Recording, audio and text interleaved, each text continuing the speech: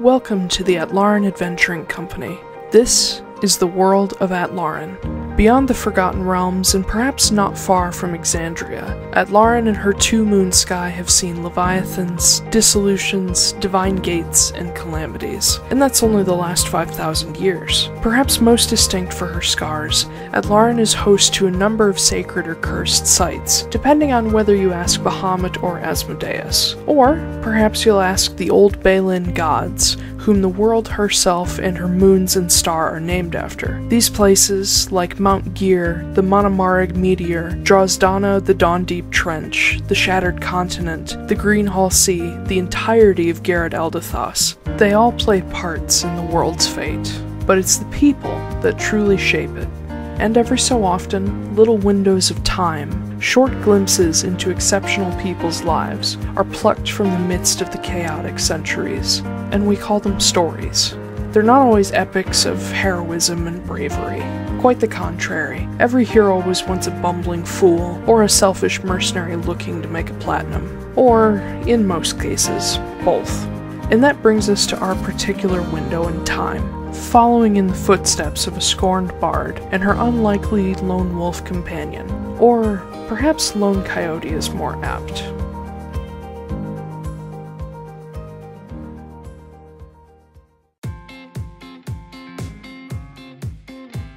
Marin Veneer, a half elven fighter with a love of freedom and gunpowder, and a former bard relearning her musical skills. Marin was the daughter to a frail sun elf laundress who passed away when she was still young. Left to care for her half sister Sylfie alone, Marin grew up far too fast. In her desperation to keep her sister from starving, Marin accepted help from the Alteras and was lured into their poisonous web of abuse, theft, and murder. Forced to kill and torture often those unsuspecting and even undeserving. Eventually, Marin dared to question her adoptive father Alistair and was slaughtered on the spot by her brothers just before she was 18. Sylfie was left to flee alone, but ten years later, Marin awoke, revived by the Heidling cult. Sickly but determined, she recovered thanks to powerful magics and the apparent interest of Cynthia Moore, mother of the new king of the Arbiters, Silas Moore III. And, by Cynthia's order, Marin was given as a gift to Silas in the hopes that she would become his subservient partner, a suitable wife that would not question the Moore family thanks to her debt to them. Marin, however, had the spark of rebellion in her soul by then and wasn't about to be controlled again. When Silas proved he supported her in the freedom of those crushed by the Arbiters, Marin reluctantly fell in love. Now, with her fiance at her back and the work to be done, Marin is ready for the long road ahead. She'll make sure no one suffers under the boot of the Arbiters or the Heidland cult ever again.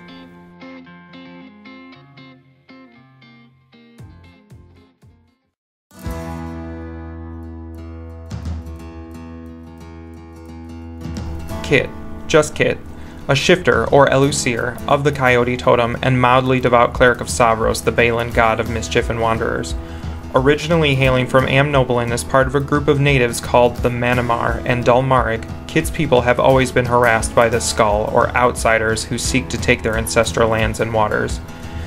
Kit's particular tribe was attacked when he was young, rendering himself and his brother Ren orphans, and forcing their tribe to flee their home continent altogether. They found refuge in Iroquel but struggled to adjust to the change from subarctic to equatorial desert. Trusting in the sacred Mount Gear, heart of the world, to watch over them, Kit's people settled in the northern savannas. But Kit never settled. Aimlessly causing trouble to Skull and taking mercenary contracts to send money home since he was 15, Kit has become a person of interest to the Guild of Wardens, enforcers who help keep the common laws. Thanks to Dana Fioris, a former troublemaking comrade who eventually went straight and became a warden herself, Kit has quite the dossier with the wardens and rarely struggles to find work at their guild. And now, alongside Sylfie, Kit has his own scores to settle with the Arbiters, though breaking apart an organization of kidnappers and slavers would be reason enough to destroy them.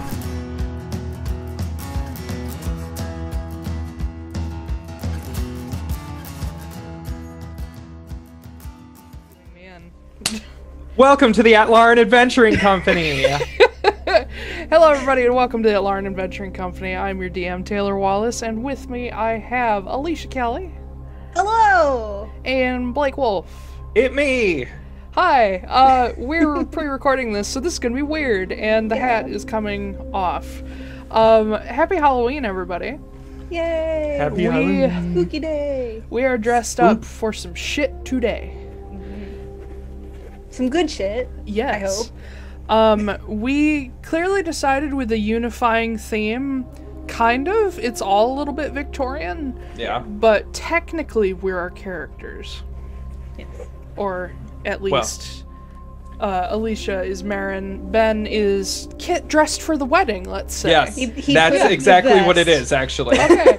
and I am as close as I can get to Silas Moore. I need a beard and I need to be very tall and thin. But uh, yeah. And we've got gloves. So yeah. oh, well, some of us have gloves. Bens are invisible. My, Uh, the gloves of invisibility. Oh, and I'm also. I don't. Can we say we're drinking alcohol on stream? Uh preferably not. Okay, I'm drinking apple juice. You're yeah, you're drinking apple juice. I'm drinking I'm drinking apple juice too. strawberry and grape juice. Uh, we're drinking dizzy sodas today. Yes.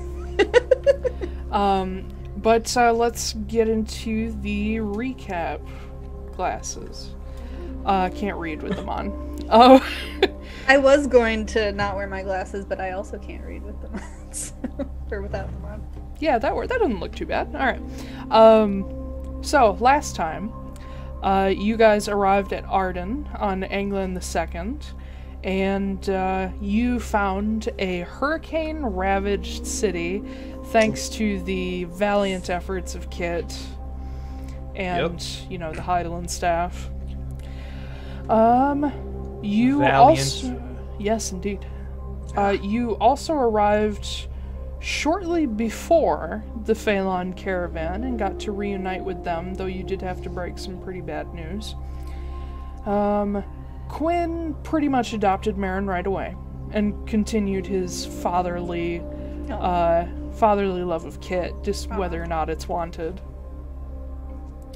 Um. Oh yes, uh, you guys discussed a little bit about Dulthair. Uh, you learned a little bit more from Kit's culture about him. Uh, Silas's mysterious patron. I deeply debated actually drawing the symbols on my hands and taking off the gloves at some you point. should have. I should have, but I like tested it and it just bled into my skin and looked like shit. Yeah. I would have to get one of those fake tattoo pens. Yeah. Um. All right. Um. You also met Jude Connell, the elder druid in training of Haven, uh, because he was coming to pick up the Gaithahide staff, but Kenna ended up coming anyway when Jude found out that Marin was a walker. You guys had a rather intense exchange with her as she told you all you were pretty much stupid and you were involved in some shit you shouldn't be involved in. And she took the Gaithahide and went back to Haven. Uh, but you do have an ally in her, or at least insofar as her attitude allows. Um. Oh, yes, and Kit revealed that Marin, he believed, was supposed to be Kyla Uravela's replacement Mhm. as uh, head of the Amnoblin branch of the Heidling cult. Um, Marin got a visit from the Grey Lady, also known as the Ghost of Senna, and you got a nifty little enchantment on your gun, as well as an offer for a future deal. The ghost of Christmas past. Mm-hmm. The ghost of calamities past. Yeah. Yeah, pretty much. yeah, that's more. Accurate. Uh, Marin and Quinn had a little talk uh, over some beer with uh, Costa nearby, um, and talked about having the wedding as partially just to just to do it because Marin just wants to do it, and uh, also to give Arden a little something to celebrate. Uh, and you did find someone to officiate, Luca, the fortune teller, who we realized was an ab- absolute fucking prophet after his reading for Sylfie. that that, was, that wasn't recorded, but it wasn't, but goddamn. Like, do you want to share that? Yeah, well, basically, I was going through my old notes for Sylfie, and Luca did some tarot reading on uh on Oh her, yeah. and I have my notes up, but like basically, it was like the three cards that I pulled were like revenge, redemption, and death, and I was like, okay, cool. yeah, so. uh Oh my gosh. it was very um you you'd think that would be planned but it wasn't Yeah. Um, and also the lover's card showed up. oh as yeah well, that too yeah i Uh, remember Oh. there was another one but Which, depending on how you took that reading, I thought either said like Sylfie's whole journey and like Bull falling in love with her, or it told the story of the switch from Sylfie to Marin. However you like to take that, it was still pretty uh pretty prophetic, I Yeah. thought. i think so But tarot's 90% bullshit anyway. well yeah All right. And then. Yeah, you guys put together some plans. Uh, Marin got her Arbiter tattoo removed by D. Uh, which, by the way, I never actually said her full name. Uh, she's a tabaxi, so she has a weird name. It's Flight of the Chickadee. Um, Oh. She is the High Priestess of Hesperus in Hjolmenir, so you'll probably run across her in Amnoblin later. Uh, do, do, do. Let's see. Oh, oh yes. And the pinnacle of the episode, Oh yeah. the goose. The goose. the goose. Showed up uh, and stole a tin cup. Uh, and then Kit, for the first time, got to talk to him directly. We learned that he has a Russian accent. Yes. and he does not know if he's a god. He knows he's a goose. And he was therefore christened Ted. oh ted Ted Goose. ted goose If nobody else got it, he's a mix of the Untitled Goose Game Goose and Game Grumps Ivan from Devil's Third. yeah Uh. Oh yeah, and you sent him off with some uh, some hey girl egg rolls. Egg roll, Mhm. favorite food. yes Uh, and sent him to visit Kenna uh, Hmm. in hopes that he could help eat the crystals because he Well- seems yeah to be that a very powerful being. If there's anything that I am really good at, it's messing up your world. So yes, you are. I'm just I'm just doing what I you're not can. and other people have to fix it. Well, good for them. Gives them something to do. yeah Honestly, yeah, Right I prefer moment. the chaos to the to the heroes. I love anti-hero campaigns. but uh, anyway, uh, this is going to be our 15th episode, game number 31 overall. And uh, it is Arden the 5th in the morning. Ooh, Halloween episode, and it's game number 31. Yep. Oh, shit, Oh. that's And it's a full moon. Oh! Uh, it won't be in game, sadly, but it'll be it'll be just after the full moon, so it'll still be pretty good. you mean kid doesn't get to go wolf like while we're getting married At your wedding? yeah No. Are you guys getting married at midnight? yes Uh, we're we're a spooky goth couple of course we are I do. Ow! Uh, but yes, it is, oh! it is Arden the Fifth. It is getting to early mid fall, uh, so it's nice and crisp and cool outside. Uh, this morning, it's a little on the foggier side as it rained during the night. Uh, the caravan is putting together a pyre to send Sylfie off. Get all Oh, the yeah. sad shit out of the way first. So, uh, it is just about uh, probably 9 10 a.m. or so uh, when you guys get up, or I don't know how early you get up, but that's when most of the caravan gets up. And uh, they're gathering up a tower of firewood, uh, far away from anything that might catch fire. Uh, and you notice people bringing out little, like, hand sewn pieces of cloth that have, like, something stitched into them. Like, um, what's that called when you have that circle and you stitch things into Cross it? stitching. cross stitching, like Yeah. cross stitch stuff. Um, some people are bringing like little handmade wooden figures and such, just very simple stuff. Um, and they're all gathering around, uh, waiting, basically. Things are quiet. And get the sad shit out of the way. So we're doing we're doing this like right away. yep. Then okay. Okay. Well, I have so guess much fun I'm shit there. planned. I know. oh my god. Like Alicia knows a little bit because I was A like, little is this okay? Ben Yeah. knows nothing. I'm ready. Oh god, I'm so excited. uh, right. Yeah. So I guess I'm there. You know, Yes. Same. I'm there. Um, so Quinn, being not necessarily because of his connection to Sylfie, but more because he's just the calming presence everyone needs, he's kind of leading this whole procession. Um, there's not much said.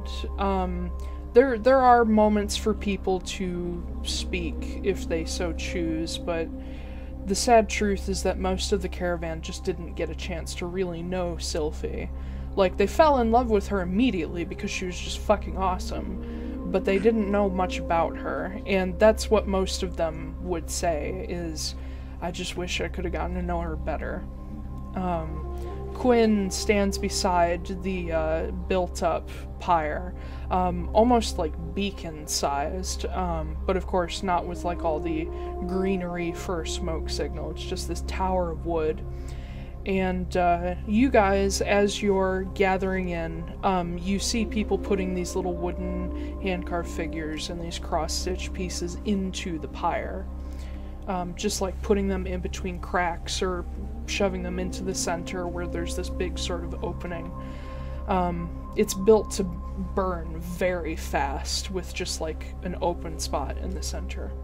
Is there anything that you guys would have made or would like to give to the fire?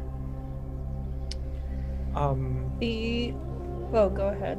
Oh, uh, mine might take a second. Um, I before the fire happens, I want to go down to the beach. I you guys would have had the previous evening and then all night and early morning to do whatever you need. So Oh. consider that you've had plenty of time. Okay. Well, I had wanted to go down to the beach and like basically use the ring to walk out into the ocean and like have them create something for her. Do you have the ability to walk on water? Oh, I don't need to. I can just be in the water. Oh, okay. yeah. So you're gonna Jesus this. All right. No. No, I'm not gonna Uh, pull not a yet. Yuna, a Yuna, and like dance on the water. Well, I mean, Arden did get Killicud. Uh, it'd be the right place for it. yeah. Uh, what would you like this Um, life to bring you? I thought it would be cool if they could make like a, I don't know, like a seaweed crown or something. Aw, that's cute. I don't know. I don't Um, want any live creatures in it because I feel Well, like enough people yeah. have died. Now, um, make a make a persuasion check with advantage because Okay. of the ring. Oh, okay, okay. Persuasion. I just realized how dark my window is compared to you guys. You look all Uh, colorful and bright, and I'm just like darkness. Twenty-four. 24. okay. Um, you wade out a ways, probably about to your chest, uh, in the water outside Arden, and just sort of mimicking Sylfie, just vibe. Um, um, and after after about five minutes of just like concentrating and hoping you don't burst a blood vessel in your eye, Yeah, which is what I did. Yeah. um, you feel a little boop against your thigh. Hi, Maz. And you see a little orange clownfish wiggle his way up to the surface, like right at chest level. And you see he's got a little string in his mouth, and it's made of like plant fiber, and it's leading down to. Uh, you can see this beautiful, almost like um, it's like a uh, how you would build almost a, a flower wreath with like trailing ends, almost like a veil on it. Um, but it's made of sea plants. It's it's made of all kinds of different things, even strange like pieces of uh, anemones and urchins and little bits of coral tangled in, all kept together by these strands of kelp and stems. It's weirdly beautiful for what it's made of. Perfect. I will give Maz a pat. Uh, and then I'll I'll take it with me. Yeah, and he he wiggles after you to shore to see you off. Um, and as you're stepping away, you feel something hit you in the back, just a tiny, teeny, tiny little something hard. I look down. You see Sylfie's ring laying in the sand. Uh, but it's not the one I'm wearing. Nope, it's a different one. I will. is it is the white whalebone ring. I will pick it up. Maz is Yeah. still there, just. And I will. Do I have to attune to the ring, or is it just there? uh, to your ring. Yeah. As far as you know, it's just there. It's attached Okay. to you. Gotcha. You haven't been able to take it off yet. Um, I'll take the other ring and I'll slip it on the middle finger of my other hand. This one is not attached. That's fine. But yeah, it fits. I slip it on. And I Maz head away. back up to the fire. Okay, Marin. The only thing that I can think of is I'm gonna go back in her bag of holding and I'm gonna pull out the music box that she uh, took back from our old home, the old Altera house. And I'm gonna put that on there. You're gonna burn the music box? Okay. Yeah. Oh, Yeah, because as I remember, because I was playing Marin at the time, she didn't want to bring it. She didn't, with her. no. She didn't want the memories. Yep. So All right. Um, yeah. As as you go up, you see Quinn there, kind of very gently arranging things that have been brought up, and like putting stuff in between little cracks in the wood. Um, and you see him reach into the front of his robe, uh, where he's created this beautiful, simple little like paper mask that has some of the symbology from uh, from uh, Sylfie's ring. Um, it was sort of his from memory, but it's it's comparable. Um, and he very gently puts that on the pyre. His his thing as an entertainer is he entertains kids. He does like face paint, masks, things like that for kids. And so for him, it is only right that one of his children gets her own. I know, ain't he sweet? Oh god. He's gonna die someday. He's too good. no! Um, No! yeah.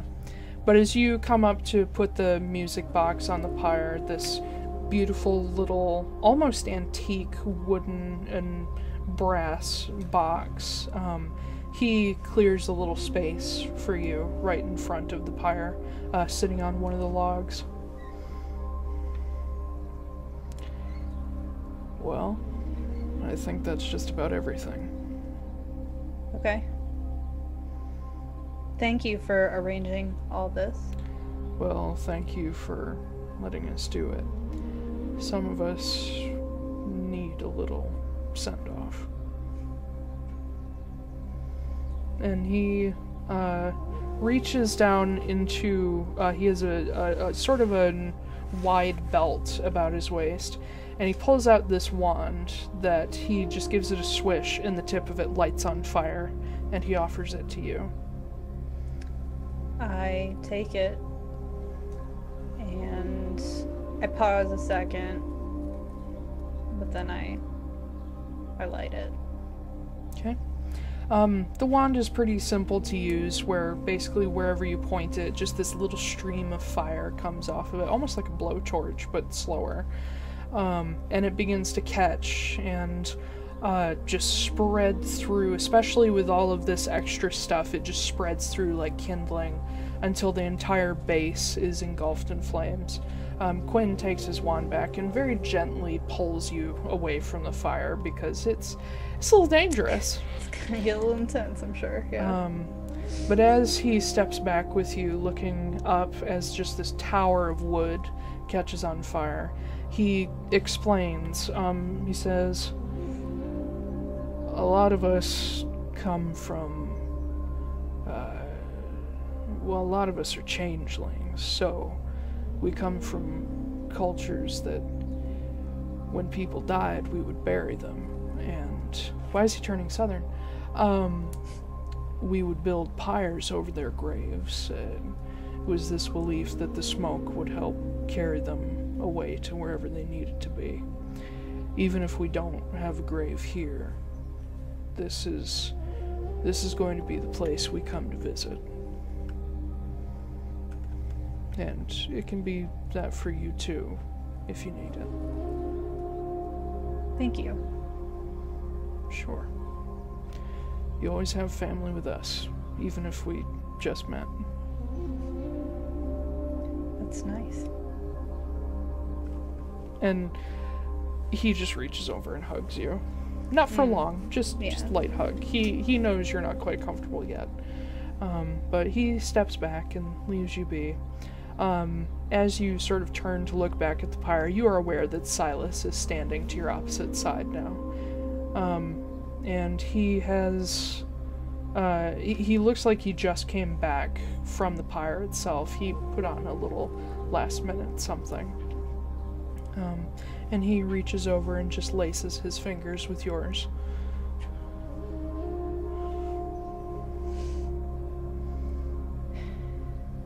I have to talk to you later about something. Alright. Preferably before tomorrow, because I think tomorrow is going to be more about celebration than what I. anything else. So, Well, if um, if what Quinn has said holds true, then there'll be a little. Uh, God, I need to get his accent back. Blah blah blah. Um, there'll be a, a party just for Sylfie after this, so we'll sneak off during that. okay. And I kind of lean into him and kind of like motion for him to put his arm around me. which he does without hesitation. The uh, and then Kit, as you're standing off to the side, uh, you're joined by Mia, who has been nigh inseparable from your shin, uh, pretty much for weeks now. Mhm. Um, Clay and Bull are there as well. They're just kind of standing next to each other, not really sure what to do with themselves. Um, but the the pyre burns up in just record time with the dry wood and the and the uh, amount of kindling. And as it begins to sort of collapse in on itself, um, Quinn comes back to Marin and Kit each, and he gives you each a plain silver ring. Um, he has explained that this is also sort of part of the custom. Rings are given to those closest to those who died. I'm gonna put it on my right ring finger. Okay. I'm gonna put it on my pinky. Okay. But um, as the pyre begins to go out and just sort of smolder, um, it's left to completely burn itself out. No, it's not put out. Um, but as it's smoldering, a number of the caravan members go back to the carts and begin pulling out these big tables and begin cooking and getting out cups and tankards and things and just putting together a, a proper but impromptu wake. And from the pyre itself, uh, a few people, namely Jace uh, and Quinn, uh, come up and actually take a handful of ash each and you don't know what they do with it, but they they take it and go back to their own carts for a moment. Um, while it's kind of simmering down, I'm gonna go over to Kit. Uh, how are you doing? Fine, I guess. My sentiments exactly. I just wanted to say thank you again for being there for her when I couldn't. I think she was probably more there for me, but There's Well- there's a stupid. I've been having this memory lately. She. We were in. It was before we met the Alteras, and she would get mad at me all the time. I mean, you know her. She's got a temper like whatever. But I don't know. She went off on me one night and said that she hated me and she was going to run away and never see me ever again. And I didn't think much of it. She was five, so, you know. But the next morning, she woke up and she immediately crawled into my lap and said she had a bad dream that I was the one who left instead and that she was alone. And I asked, Well, isn't that what you wanted? And she said, Well, I think I realized that everybody needs somebody, and you're my somebody. And I. I couldn't be her somebody for a while. And that was you. So. I'm just sad that I couldn't get to know her more the way that you did. But who knows you'll if be able everything to. Yeah, I was about to say if everything goes the way it should, maybe we'll get that time back. Uh, I take the whalebone ring off my finger, and I hand it to Marin. Where did this come from?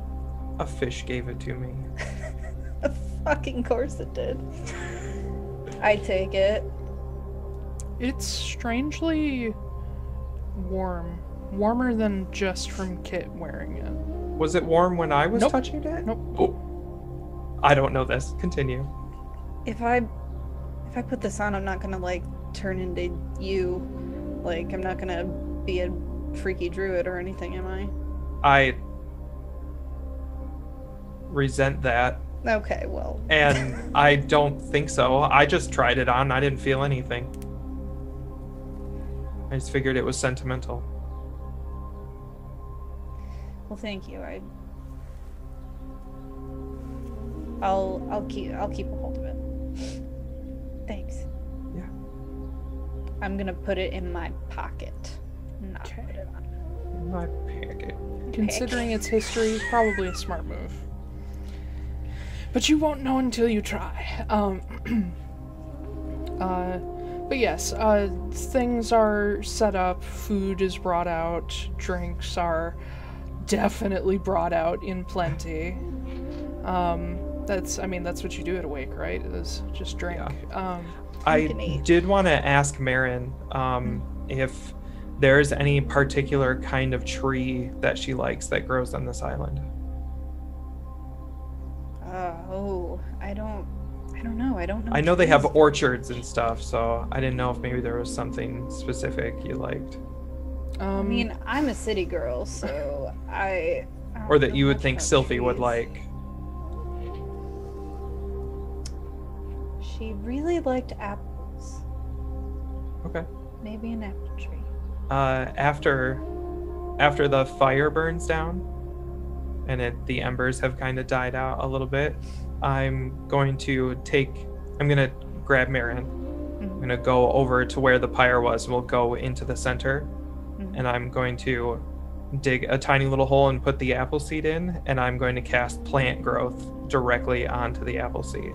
Okay.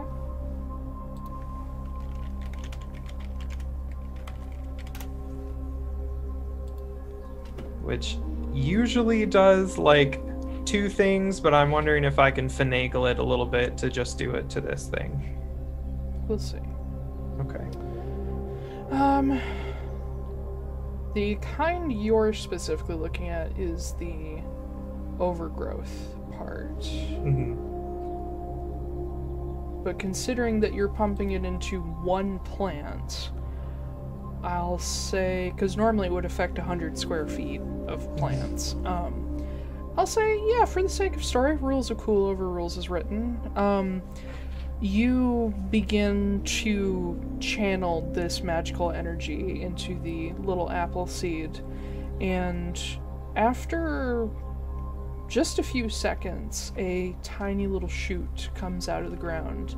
And even after your spell is done, it keeps very slowly but visibly growing and growing and growing.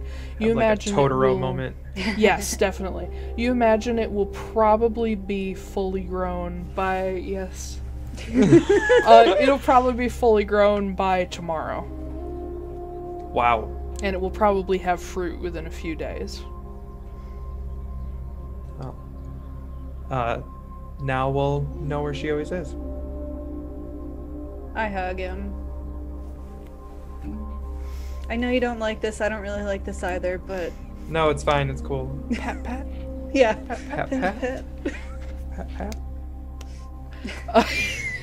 that bow, Caleb bow was amazing. Um, but yeah, um, you guys eventually do get uh, pulled away for at least a, a a drink before you're sort of left to your own devices. Um, Mia finally unlatches from Kit, um, but turns and then latches onto Bull. Uh, Bull and Clay are kind of each other's partner at the moment. They're just kind of supporting Aw. each other. Uh, and Mia joins their little their little group. So what are you guys doing? Ah.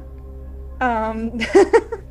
Uh, I'm I'm probably eating food and yeah. maybe getting a little drunk. Yeah. I'm definitely getting a little drunk. Yeah. well, as Marin, as you get into your second drink, you feel a little tip tap on your shoulder. I turn around. You wanted to talk to me, darling? Oh, yeah. Um. Um, try not to get smashed before you have uh, a coherent conversation. oh, right. I'm only like I've only had like one drink. It's fine. This is a Uh, very strong drink. You said one.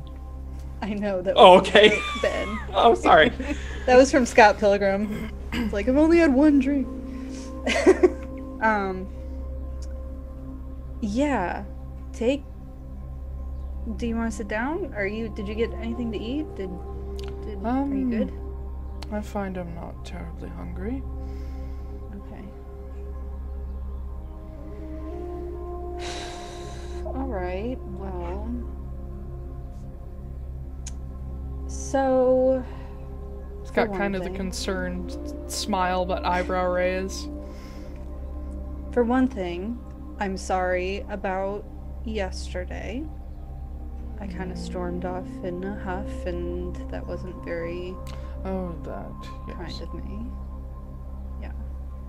Also, I shot at Kit. I should apologize to him about that too. Uh, yes, that was actually the thing that bothered me. Oh, I forgot about that. yeah. I did too until right now. Um, I I don't know. It was just a lot of information that was being thrown at me at once, and I got a little overwhelmed. So Well, being told you're a tool to one of the least agreeable women we know uh, is cause for some outburst.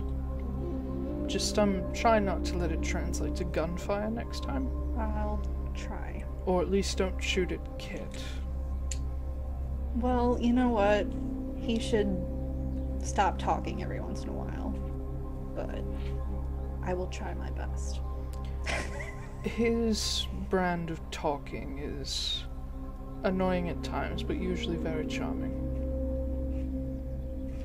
I agree.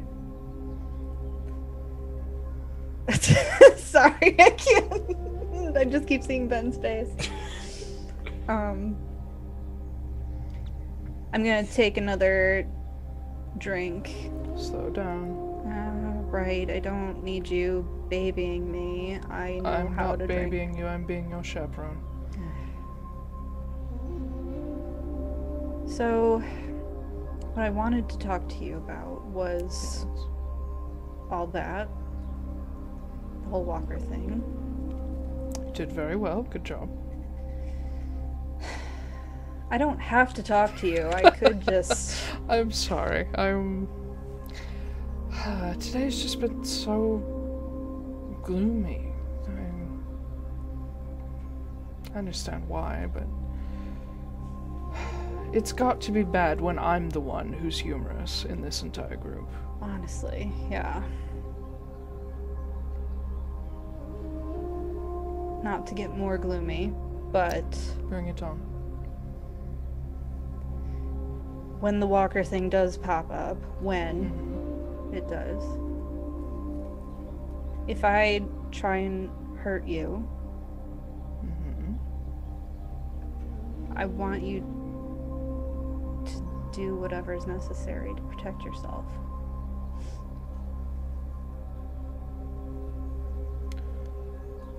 I will see what I can do. What is that supposed to mean? It means that I have never been able to lift a hand against you, and I'm not sure I ever will be able to. But I do have some tricks up my sleeve so that I don't have to hurt you if something happens. Well, knowing your mother, Silas, Mhm. do you really think that she's not going to pull out every stop that she possibly can to make sure that you're hurt? I know she will, but my mother does not know me as well as she thinks she does. I have many little tricks of my own. Anything you would be willing to divulge to me? Or... Absolutely not, because if Oh, you know, then someone else may hear. Let me keep my secrets, that way I can stay interesting for the next 50 years. Ugh. Or so. No, secrets don't make interesting people. I don't like you because you keep secrets from me. I didn't think you did. That's not why they're secrets, darling. They're secrets so that I always have one last Hail Mary if I need it.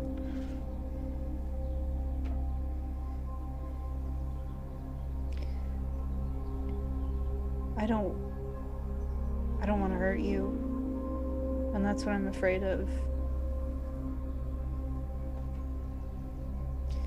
D- Do you even. Have you even given any thought to what happens if arbiters get a hold of you? Yes, What they might want quite to a lot. Many nightmares, many, many hours wasted thinking about that on the ship. But, um. Thinking and worrying about it doesn't help me. So I will deal with it when the time comes. I have better things to plan for. I have people to take care of. You should take care of you, too. That's no fun. Silas, I. I'm- I I'm- understand. I'm not being cute. I'm not being cute now, okay? I'm being. This is me two drinks in. I said one, it was two. I'm sorry, I lied. I know, you held up two fingers. Three fingers, but who's Uh, counting? either way. Uh, I assumed there was a me- uh, median in there. you are all I have left. I mean, I have Kit and Clay and and them. I- They're fine, but you. And you are practically all I have.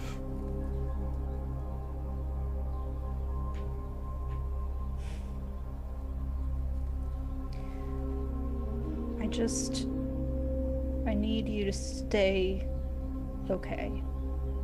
And if I'm the one who makes it so you're not okay, I don't I don't know if I can live with myself after that. Well, if it ever comes to that,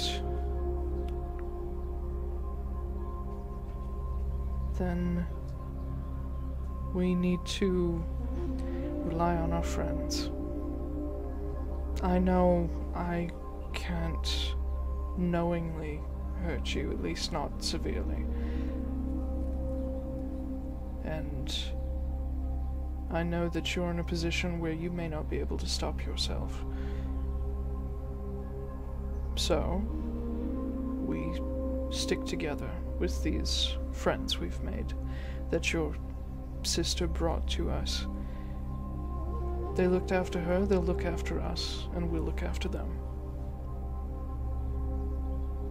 That way, I don't have to hurt you. Kit can do it. Bet want. I bet he he would take that chance if it, if he was given I'm it. certain he would, and he'd enjoy it.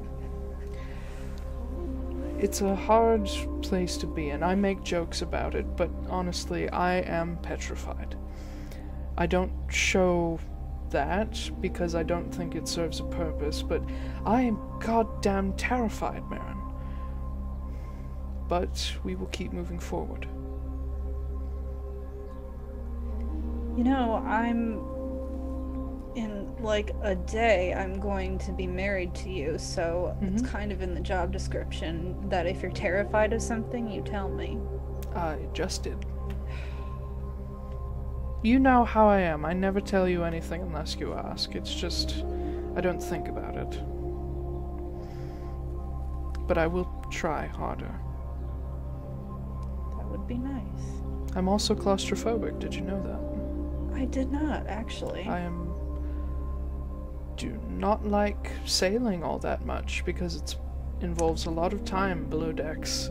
You'd think a king of pirates would be good with cabin sailing, but it's not that great. No wonder you wanted the big room. Yes. Kept saying that you wanted the big room. I thought you were just you just had some sort of like. It's not because I think I'm the king of everything and deserve the big room. It's because I want to be able to breathe. My, um. I spent a lot of time sort of hidden away as a child in dark places, and I don't like that anymore. I like being out in the open. But that's an entire uh, phobia and uh, trauma that we'll unpack another time. Today's not the day for that.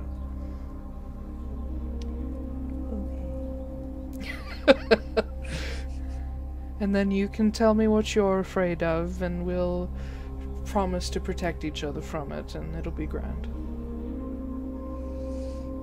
It's spiders. Don't like. How did I guess that? It, Oh, yes, that wolf spider a few months ago.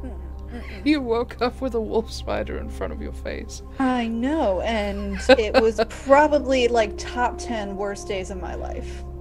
So, Uh, yeah. I thought something was really wrong. I It- threw that pillow There was the room. something there was something wrong.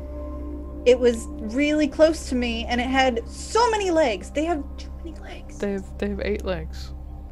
And they're furry and gross and Yes. and, and, and they got those like big butts, the the asses. Uh, don't, It's called a an abdomen. yeah, no, don't like it. They're also this big. Yeah, they're disgusting. They're abominations. Have I told you today I love you? Not today. Well, I do. I love you too. Come on. And he takes your hand and he takes you for a walk.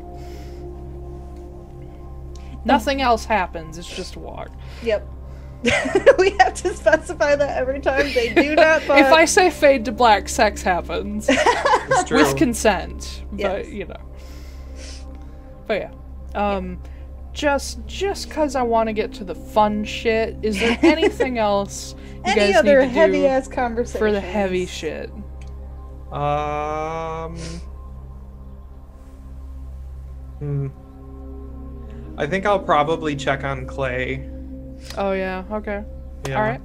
Um, when you go to find him, he's sitting between Jace and Quinn, and he's talking to this um, this older furbolg woman with long red hair, and she's um, talking to him about sort of his studies in magic. They seem to share a similar set of skills. Um, but when you walk up, you see he's got Mia in his lap, and he's just sort of idly scritching his fingers through her fur, and she's just chilling. Uh, God, he looks busy. Um, I mean, he looks relaxed. I'm just gonna I'm gonna walk up to him and just tap him on the shoulder, like from behind him. yeah. Be like, "Uh, you doing okay? Uh, nope. Okay." I just wanted to check in. Nope, not doing good. Thanks for asking. You're you're welcome. This Mia will help.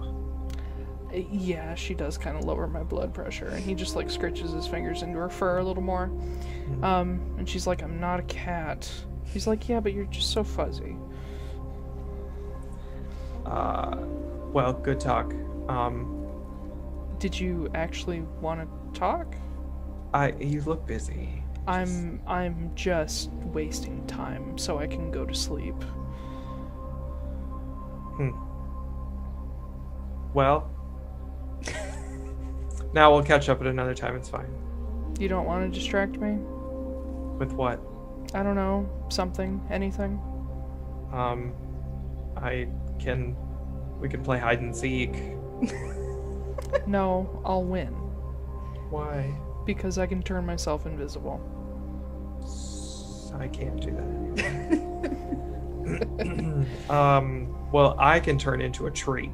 So, That's pretty good because I don't have the trees memorized here yet. yeah. Yeah. I. And he sort of turns a little more to face you and says, Um. Not. Not. Not okay. Surviving, not okay. Um. I want to talk to you and Mar- uh, everybody after all the once we're once we're getting ready to leave. I want to talk to you guys. So, Okay. um, yeah. Anyway, All right. Well, keep up the good job, Mia. mm-hmm. And peace out. Okay. So, um, the the rest of the day sort of is similar to this. Just for your group in particular, nobody's really okay, but you just kind of you kind of mingle both to get the like family interaction and also just to waste time and drink until you can go to sleep and be depressed. So, you know how it is. Every Monday through Friday, Yeah.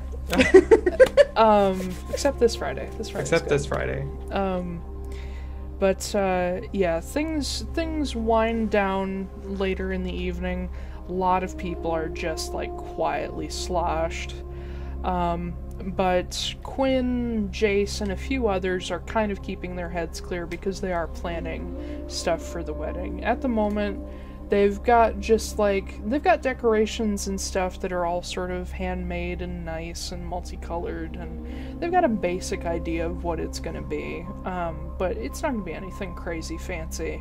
In fact the thing that's going to be big is that the entire city of arden is basically taking this as a or at least what's left of it is taking this as a chance to just celebrate something uh, between Quinn and a few others, you have enough people that know the spell create food and water that you can just make a feast for the entire city. Um, Um, yes, I do want to chat with Quinn real quick. yes. Uh, I just want to tell him that I have an idea for helping them get everything set up. Do do tell. Uh, I just need to be there before everything happens. That's all.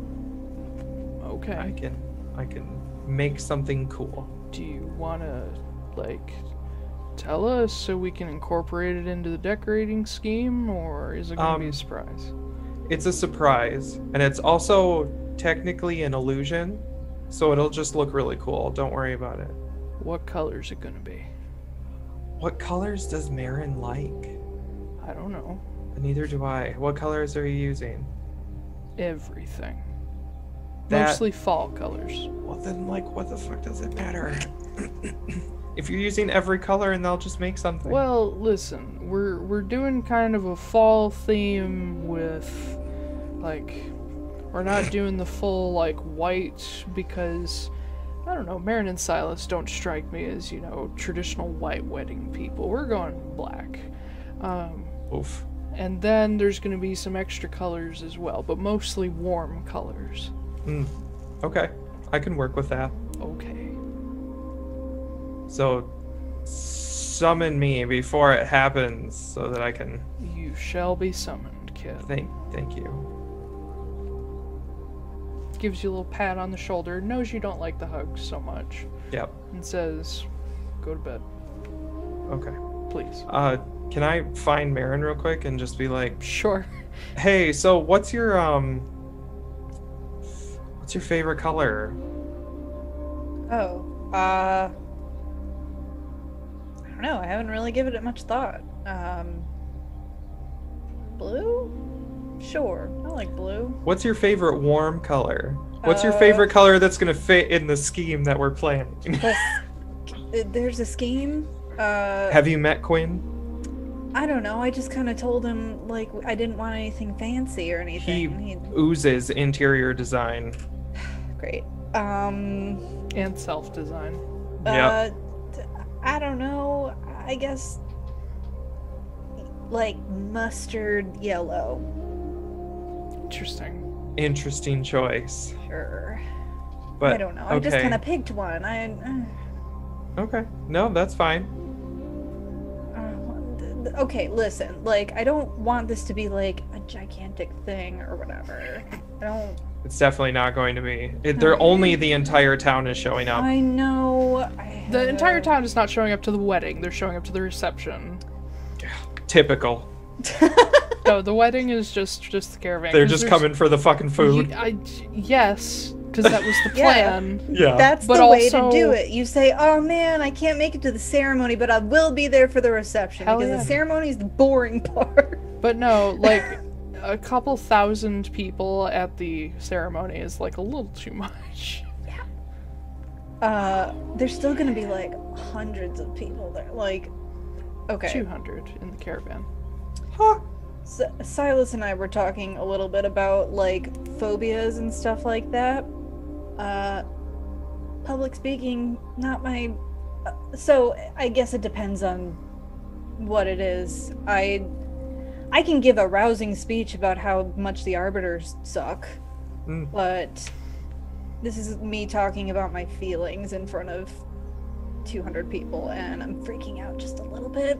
Well, I don't know if you've met me, but um I'm not even good at talking about feelings to just one person. So, Yeah, I don't know why I'm asking you for advice. What what good are you? That was You me. could I'm just- sorry. wow. Ugh, I'm Um, nervous. I'm sorry. Ugh. You could just pretend that we're I don't know. Maybe you could channel your hate of the arbiters into your love for Silas. I don't. Like don't know how take that that's take that gonna- hateful energy and just just read your vow. I fucking love you! God, dude. God damn it, you beautiful man! I don't know how much that's going to translate. I mean, it'll Uh. be interesting. Okay. Well. Sure. Okay. Yellow is fine. Uh, just. Just don't go overboard, is what I'm saying. Never. would never do that. Have you met me? I never go overboard. Kit, like the only thing that has significantly happened in our relationship is that you tried to You literally end went all of our lives by creating a huge hurricane because you wanted to dominate part of a dead dude. Well, that was more about pride and less about going Yes. overboard. I know, Um, but in in that respect, you did go a little overboard. Yeah, it was also about revenge, and it, it didn't work very well. All But it's that- okay. I've turned over a new leaf, literally. Yes, I know. Ha ha ha ha ha. So funny. Aha. Yellow. And I turn around and walk away. Okay. Oh god. Anything okay. All right. Bye. you guys want to do for the night? Sorry. Um. Uh, mm, I think that's about it. That's all. yeah. Oh so no. excited. I'm so fucking excited. All right. Um yes. Uh so the night passes by with mild hangovers. Um for some people, not all. Um and uh, in the morning, you guys are up bright and early as the entire camp is getting shit set up. Like it's impossible to sleep too much later because they're just like at it at dawn. So, uh, as you guys finally come out for breakfast, probably a little, some of you probably a little hungover, some of you probably a little sleepy. Um, there's, uh, sort of as the caravan usually does their thing, um, there's all different, like, um, campfires and everybody's making a different kind of breakfast, and you just kind of go to whatever sounds good. Um, you guys typically, uh, thus far, have joined uh, Quinn or Jace or both. Um, but uh, this morning, Quinn is a little too busy to actually like sit and eat breakfast with everybody. So he just has like a like a wooden plate or like a bowl with him, and he's wandering around with like a pair of chopsticks in one hand, just like eating in between. Be like, no, no, no, that put that put that there. Okay. Oh my God, Quinn. Um. Yeah. So bad. And every so often you see him like stop and like change the color of his hair, like testing does it work. Um, and eventually he settles on like a bright red orange. Um, and he he continues about his way. Jace is much more well, Quinn is chill. Jace is much more in control. Um, this sort of smallish, uh, broad-shouldered, purple-haired woman, just the queen of the camp, um, with her gigantic Goliath husband at her back. Um, being that they do have like their animals with them, she's still dealing with all of that as well, but they're kind of keeping those separate from everything. Um, the rest of the camp seems to be just all hands on deck for setting up for particularly the reception. Um, but the the actual wedding itself at the moment is planned to take place in this nice little sort of uh, fall grove nearby. Just something simple and natural. Um, as you guys are uh, sitting together, um, Clay, Bull, and Mia are all off just helping do stuff. Um, you guys are still eating breakfast. Um, when somebody you don't recognize comes to join you, um, it's this very tall, very broad half orc woman uh, in a beautiful Constantian style dress, kind of like um, kind of more Edwardian than uh, Victorian. Uh, think like think like Dolly Levi at the beginning of Hello Dolly, that bright, colorful uh, Oh, dress she had with the very fancy hat uh, with this Uh-huh. like fluffy feather over it. Um, but she steps up to the campfire. She's got a clipboard in one arm and this like steel fountain pen, and she walks up and sees uh, Marin and Silas, and she says, "Excuse me, um." Or wait, no, she's the Southern Belle. She's the Southern Belle.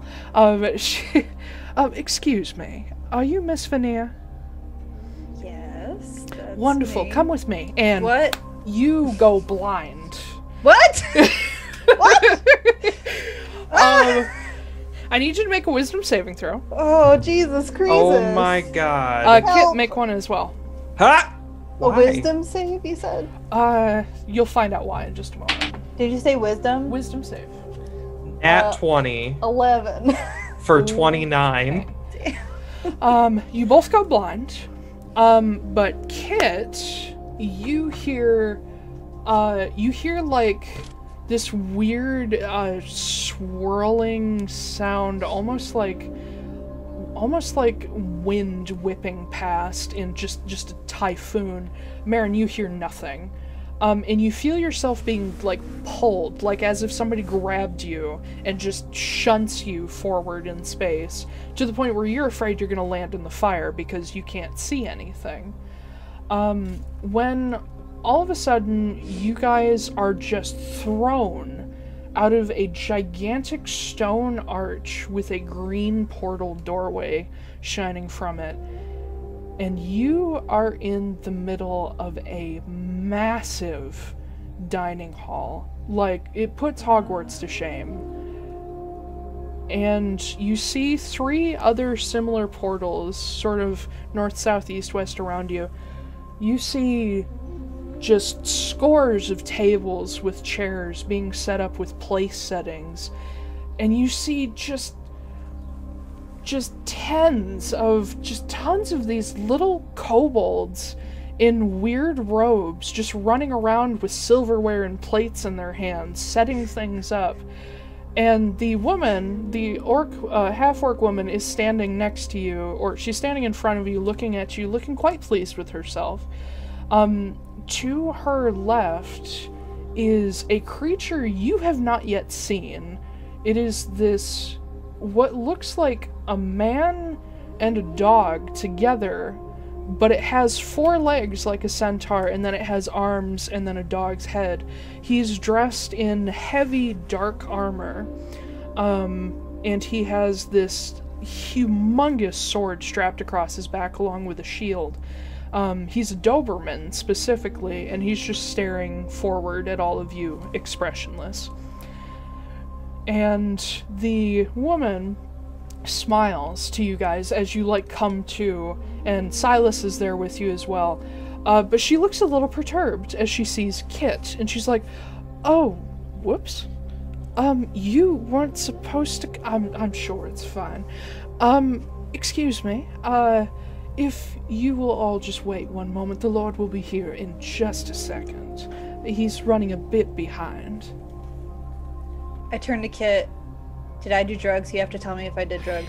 Uh, did I do drugs? I don't know. What did, they put?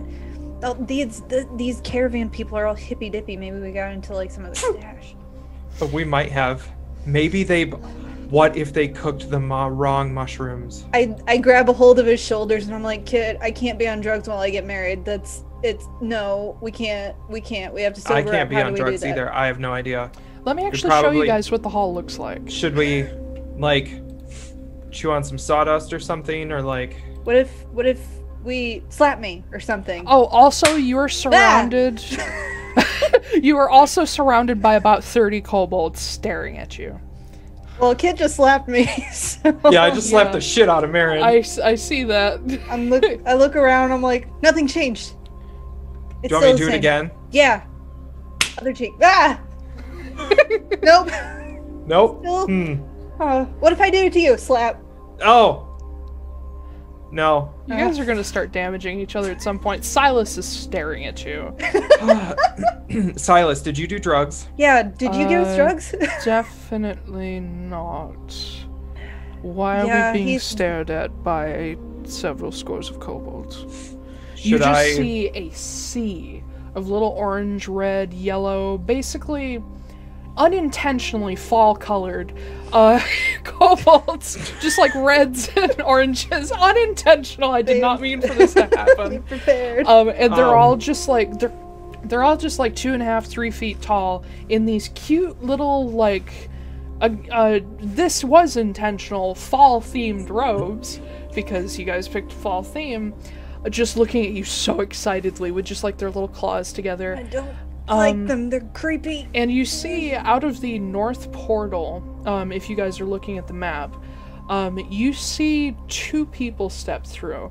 One is a kobold that is completely different from the rest. He is instead bright blue. Uh, and instead of the little white markings that all these other kobolds have, he has black. Um, he's a little shorter than a lot of them. He's probably about uh, probably between them and Mia, so he's like gnome height. And next to him is another creature you have never seen. He can only be described as lanky, feline almost, but instead of the instead of like the sort of face you would expect on any humanoid, his face looks almost like an oni mask. He has these long, extended, outward curling fangs. He has horns coming off his head. He has a third eye in the middle of his forehead. And I will actually show you what he looks like. Oh shit, I'm Um, not at Roll20. I knew I was missing something. Yeah, get to Roll20 because Yeah. there's shit to see. I know. I'm like looking at all these massive amounts of kobolds and wondering what spell would take all of them out. Oh None. god. None. I'll let you see the hall first, Alicia. Okay, hold on, hold on, hold on. it's big. But yeah, it's it it's big. Um, Big boy. And uh, for anybody watching, excuse the weird production value. I'm controlling all of this because I'm recording it, so it's a little weird.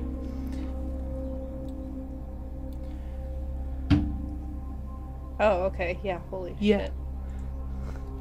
shit. Oh, Um.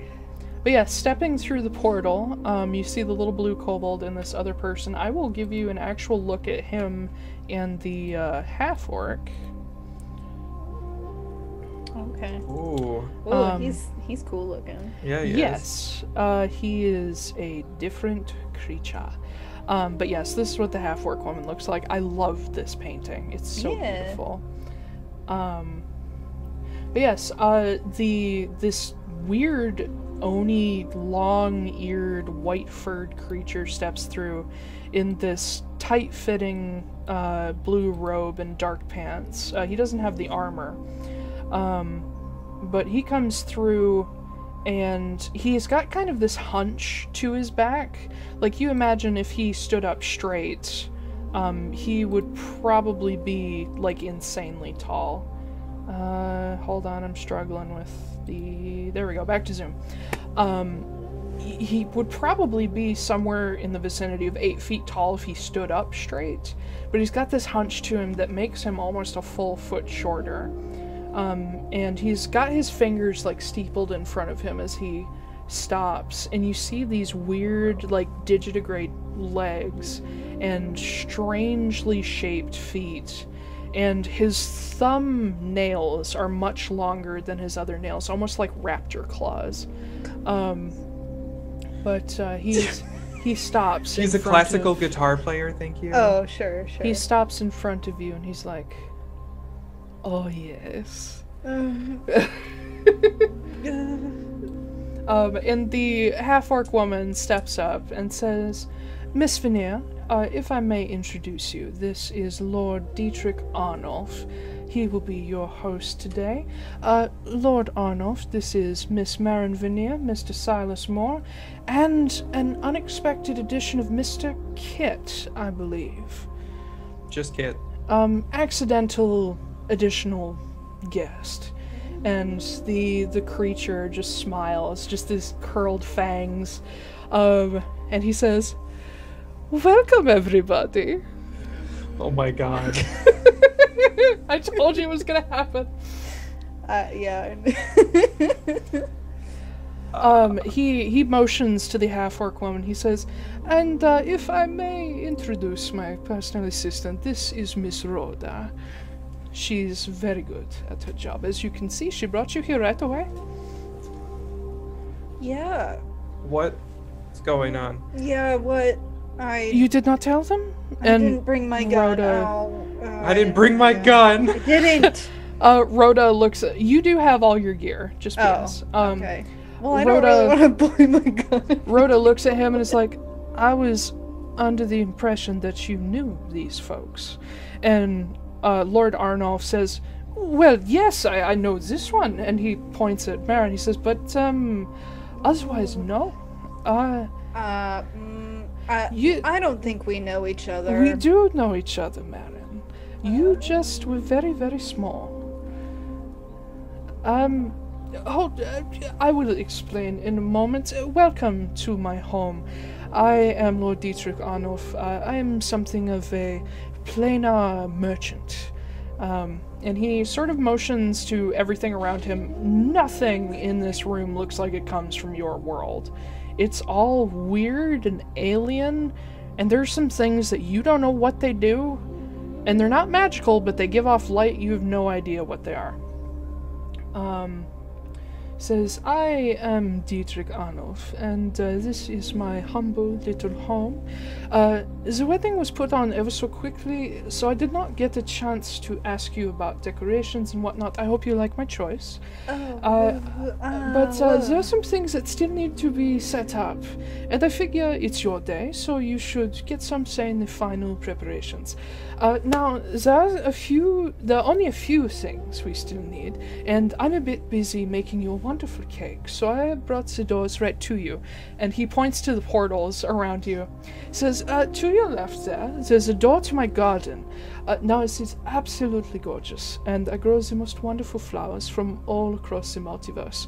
So if you would go in there, you can take a look through the flower beds and pick out just a few flowers you like, any colors. Uh, bring those back to my darling assistant, Miss Rhoda, and uh, we can recolor some of the decorations just for you. Uh, should not be too hard, and we will even make you a special bouquet. Um, to your right, is there's the door to my wardrobe. Uh, now, my normal clothes are in a special closet. Everything else is experiments, creations, trade goods. You can have your full pick of anything in there. Um, all kinds of suits, dresses, traditional, non traditional, anything you like. Um, let's see. Sorry, I'm actually reading off a thing here. Um, pick something out for each of you, and uh, if you see anything you would like for specific guests, you can also pick that out. Everything will be recolored, resized, what have you. Uh, and Mr. Kit, you may also pick out anything you like. I, I do believe I have some uh, uh, Dulmarig, Manmar style clothing in there as well, if you prefer. Um, any any color is available to you. Uh, there are some enchanted garments as well that can change from thing to thing. Uh, my tailor will help you figure those out. Um, but uh, pick anything you like uh, to sort of set the um, what do the kids call it today? The vibe. Uh, and behind you, that is the door to the kitchen. Now, I'm still making your cake special and keeping it away from all these little grubby kobold hands. Uh, I'm making it in a separate room, but the chef has uh, current reign of the kitchen. He is putting together everything for the dinner, of course, uh, for your reception. Uh, we would like you to pick out a starter, a main, some sides, some drinks, and of course dessert, and anything else you would like. Um, you can also, I would be honored if you would peruse my personal collection. I know this is a lot. Uh, you can peruse my personal collection of wine. Um, some things I even grew myself. I would be honored if you would pick out a vintage, and we will have it be just for your wedding. And I'll uh, maybe send you some extra bottles in the future. That way, uh, you have some for your anniversary. Um, once you have picked out everything, uh, my assistant will arrange the last minute items and we will set everything up for your guests. Uh, enjoy yourselves, partake in the refreshments currently in the hall. Uh, in between your tasks, you can come back in here anytime you like, and we look forward to your big day. And he turns around and walks out the portal behind him.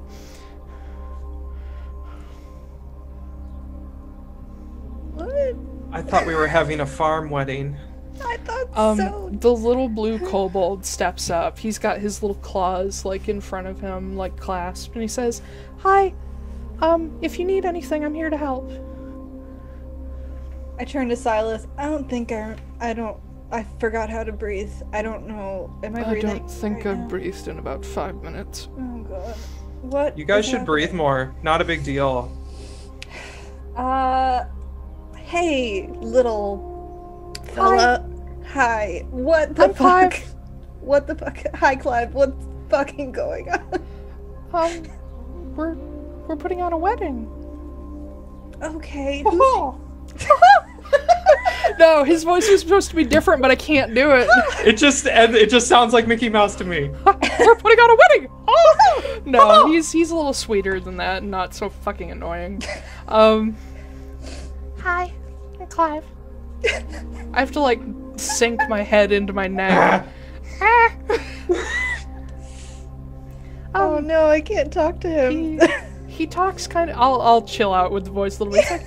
He he talks kind of fast, so if you need me to repeat every anything, everything, um, just just let me know. okay, can you start like at how the fuck we got here? And I Uh, shouldn't say fuck around you. You're super cute. Um, Um, th- thank thank you. uh, are you like? Are you a kid or are you just like super No. adorable? Okay, No, cool. I'm- Fuck then. Um, I'm 55. whoa. Okay, yeah, definitely. That's pretty old for a kobold. Oh. Okay. Yeah, I was about to say, don't you guys only live like 11 days or something? No, no, that's a that's a myth perpetuated by by uh, pop culture. Eleven days. Eleven days. uh, Though honestly, with how clumsy some of these guys are, that's sometimes true. okay. Um, Clive, you're Yes. very sweet. Miss Veneer. No, um, Marin's fine. Um, Um, are you sure? yes, please, God. Um, Oh, okay, M- Marin. Uh huh. Um, Miss Rhoda is still standing there, just listening. okay, you, you look like you know more Yes, about this. Um, Uh, well, not necessarily. I'm Lord Arnulf's personal assistant, of course, but Clive is actually the head housekeeper. okay. Um, he well- knows more about the inner workings, but I will be helping you as well.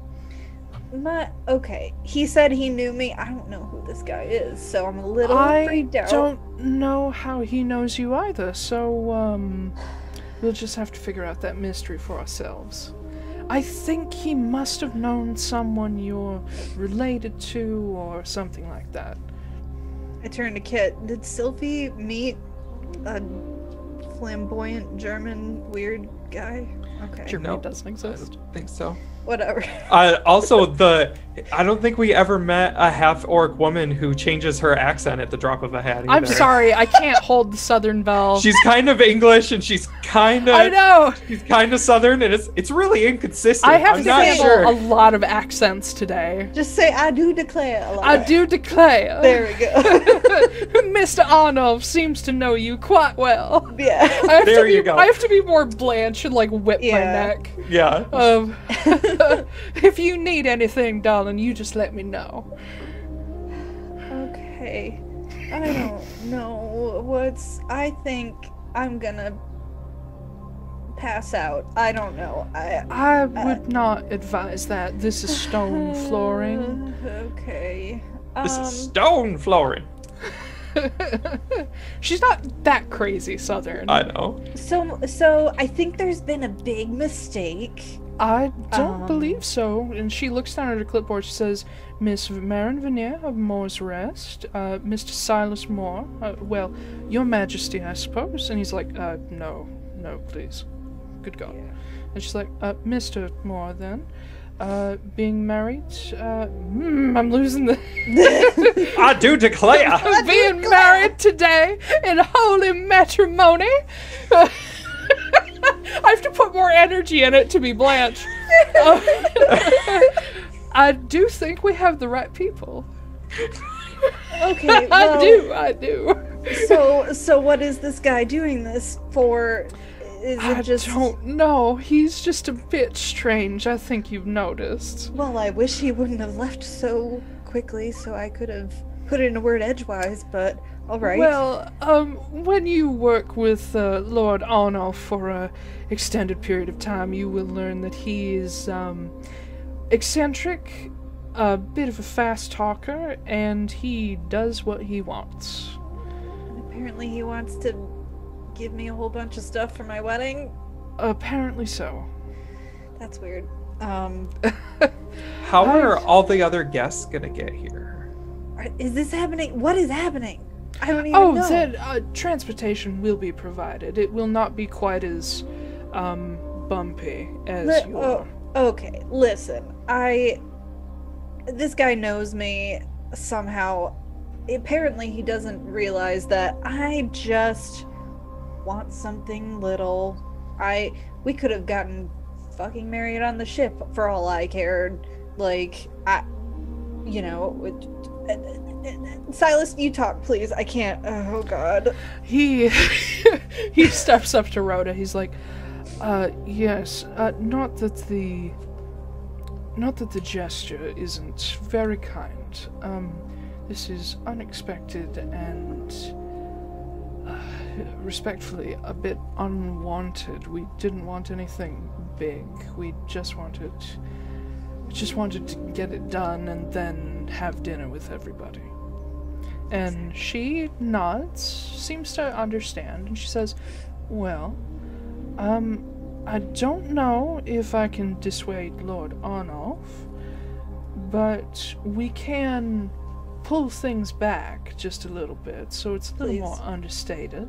Please. Um, and she uh, looks at Clive, who immediately like steps forward, and uh, he starts calling over these just scores of kobolds setting up place settings. You see him like clap his little claws, and they all look up, and just starts calling out to them, and they start taking like extra forks and like soup spoons away, like fancy stuff. oh Um, That's the skill. They're like, that- now, now you only have two forks, two No, spoons, no, one no. knife, and three chalices. Now only two thousand people are going to go. oh they're they're taking it from like fancy like multi-dish multi silver real silverware place settings to something a little more understated um instead Paper of plates. like Yeah. instead of like Barbecue. gold trim on these beautiful china plates they're putting out something a little more simple Do they Um, change the plate chargers so they're not so garish? what is a plate charger what is that? It's the thing that goes under the plate that's all colorful. they take those away Oh, okay. the Um, chargers are gone. Are, are you talking like a place thought they were like placemat. No, there. So like, there's a placemat, and then there is a bigger plate that goes under Oh. your plate that is usually Yeah. a color, and it's called a plate Oh. charger. Yeah. It's literally I didn't know that that was what decoration for your plate. okay no chart no chargers um, Okay. the place the place mats themselves there are like these nice little mats underneath those are left but you watch multiple kobolds who have like a, sh- an extra sash around them they pull out wands and they start recoloring things um and Paper towels. Paper towels. not silk napkins Dixie cups. linen Yes. no it doesn't turn into a southern shotgun wedding It doesn't Yeah, turn into a lobster boil. oh Thank God. god yeah No um, joke. I've been to some of those weddings. no, it, it becomes more like um aside from the fact that you're inside a massive like palace stone hall, it becomes much more like I don't know, almost like uh what's the word? Not like cookout, a little more fancy than that. Um but Like- like, like the farmhouse style Not thing f- where it's not like even fancy, but it's like rustic. like middle class. Like Yeah. lower Ew. middle class. Ew. Oh, I don't know how to describe it. It's Anyway, like the- it's like canopy tents and fold out tables, but Yep. they're covered with nice tablecloths. So you're like, oh, it looks nice, but it's Been to those also weddings too. but I've like if you lot of hit it too hard, it's gonna fall over. okay, like- no, the tables are still nice, but Well, no, yeah, I mean, I'm sure they don't have plastic folding tables back here. no. No. Um, but no, things are sort of drawn back a little bit, and you watch as some of these kobolds with wands like change the the tablecloths from this like rich, like tasseled, uh, red and gold like long coverings into these more simple, even like festive table runners that are much less fringy and and rich. Previously, it was like decorated for somebody with like a lot of money. Um, now it's decorated for like anybody can come. Um, but and then you watch as some of the decorations are changed from like traditional wedding style to more like seasonal. Um, there are Pumpkins. pulling pulling again from like Hogwarts style. You do notice that up in the air, probably around like 15 feet above your head, there are actual like fall leaves suspended in midair that just slowly drift around. Um, Oh, Wow. but yeah, fancy. Are they on fire? no, Oh, they're not also candles. they're not candles. man. There is a sourceless light to this room. Um, you don't know where it's coming from because there are definitely no candles, no skylights, nothing. It's just lit. Um, but yeah, um, Clive, as he watches all this happen, he comes back to you guys and says, "Okay, um, so what would you like to do first, Miss Veneer? Uh, Marin." I mean, what is there to do? There's Well, there's the You- garden where we can pick out some more colors and some flowers, um, and I don't know, uh, even decorations if you like some of the plants. Um, and uh, he points over to the other one. He says, "There's the tailor's shop and wardrobe where we can get you something nice to wear if you'd like." And then there is the kitchen, which we should probably go to last, so that way the chef has enough time. Um, go pick out your bouquet first. Because I need to see it so that I can fix all of this. That's a good idea because then we'll have an idea of all the colors you'd like. Mm, okay, sure. That that um. mm, God, this is why I had people doing this for me. I. mm, Okay. Do you need me to hold your hand, Miss Marin? No, no. He I says that think- with gen such genuineness. Yeah, Oh, you're so fucking cute, but no. Thank- uh, thank I'm you. Good. Um. Whew, all right, let's. It's go. okay. You Breathe. feel you feel Silas take your hand. Okay. All right, I don't need the sass kit. All right. That was very Sylfie. I'm sorry. no, it was pretty Marin. No, Yeah. yeah. I mean, I'm They're enjoying it at this yeah. point. yeah. Uh. Okay. Let's go. Um, and uh, Let's go. we got time. We got so much to do. Let's Rhoda- go. Ro- Rhoda says, "I'll be here, um, in the main hall if you need anything, and uh, if anything for whatever reason goes wrong, just walk back through the portal. I'll help you out, and of course, Clive will be there to assist." Are the are the plants dangerous? Um, not most of them. I'll go with you. Wha- Why Yes, please do stay together. It's very easy to get lost in here. Okay. Oh my god. Don't worry, we'll find you if you do. Okay. Eventually. All right, I guess. Go on. I I'm just gonna follow Clive. Yep, he just totters his way through this, uh, through this, uh, This Uh, is one of the portals. not far off from my actual reaction of I don't know what the fuck to do. So, let me show you what the gardens look like. Oh boy. Oh god, I worked so long on these maps. I can only imagine. I'm so overwhelmed. All the oh, pumpkins. Oh god, there's so much. There's so many more kobolds out here. There's a snake. There's a snake? There's a snake at the bottom. Oh, there is. Yeah. Can't go there. There's pumpkins and there's cabergets. Cab- Caberget. Cabergets and rolls. carotas. Did you say egg rolls? Caberget egg rolls. yeah. Caberget egg rolls. We gotta we gotta invite Yeah, the like goose Fabergé back. eggs. Um, so Uh, as you guys step out, there's some um, chrysanthemums. you uh, hold on one second. I actually have to grab your tokens here.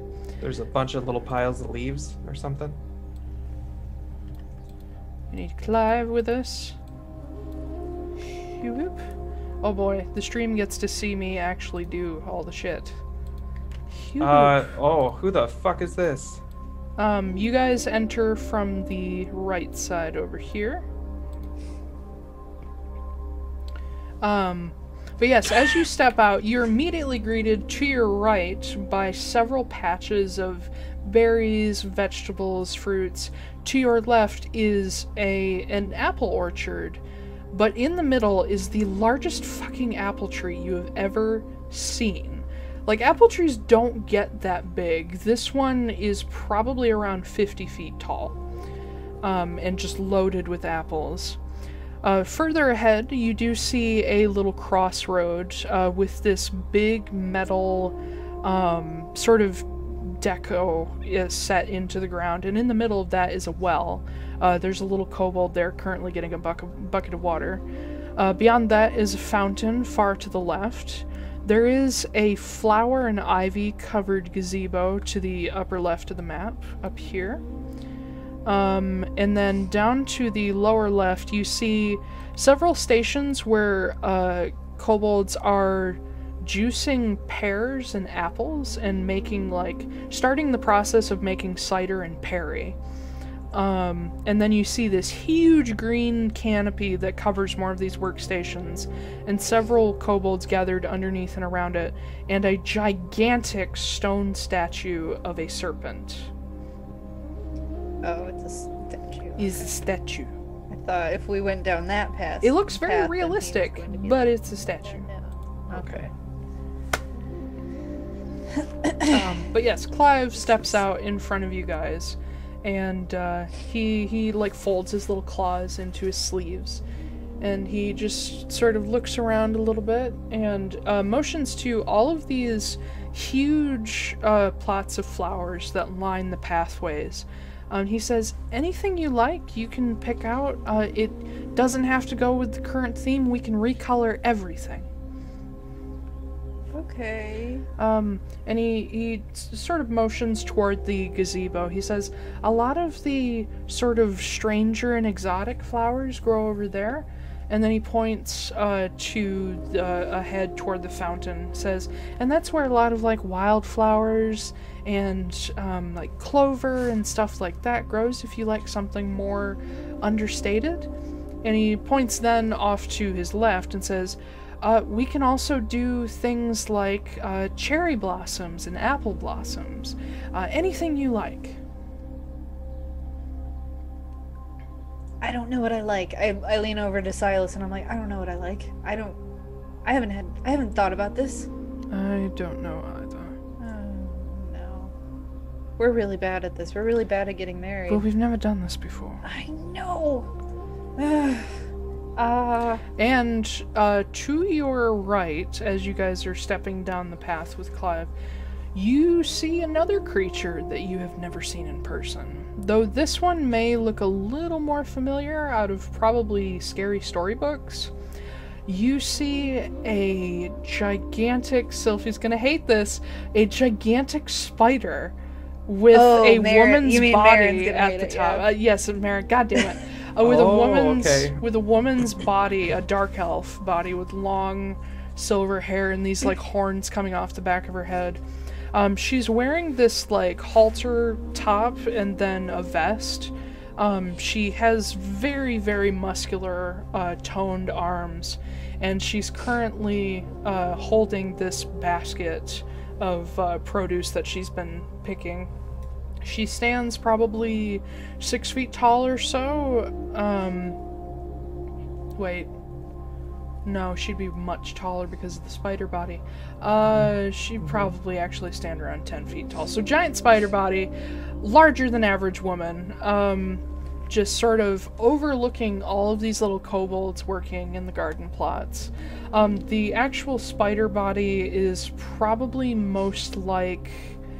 Um, probably most like a uh, uh, fucking what are they called? Brown recluse.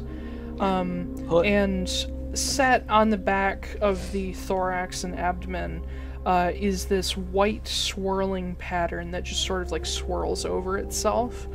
Um, but uh, is sort of set into this weird weird body. Um, but she also has like saddlebags on almost like a centaur would um because that's basically what she is, is a spider centaur. She's a drider.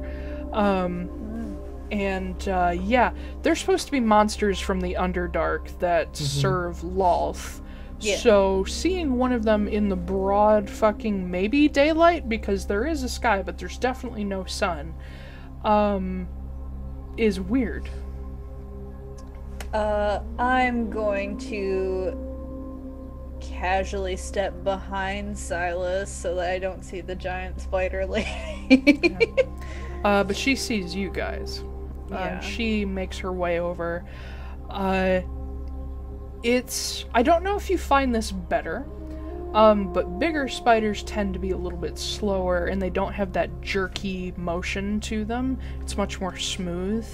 Um, Did- and she's she have, sort of like, furry legs and stuff. no, she's or- not furry. That's Um, it, yeah, she's like a brown recluse meets black widow kind of kind of spider. Um, but she makes her way over.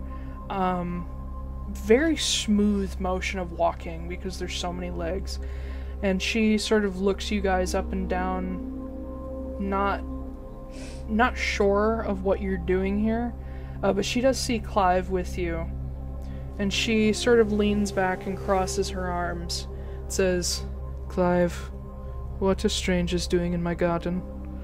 And Clive looks up at her and says, "Uh, These are guests of Lord Arnulf.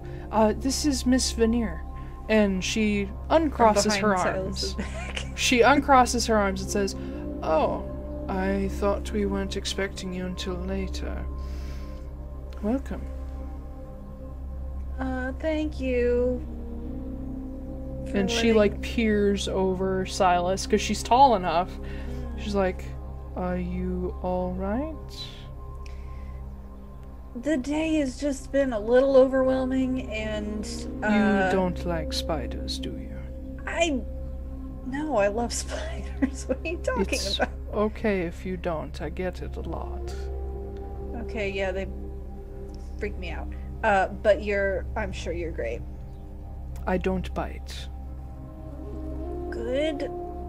That's nice. Silas Uh. is still holding your hand. He's like, um, if it's not too rude, um, what in the world, uh, what is this place? And, uh, she leans back uh, a little further, much more relaxed now.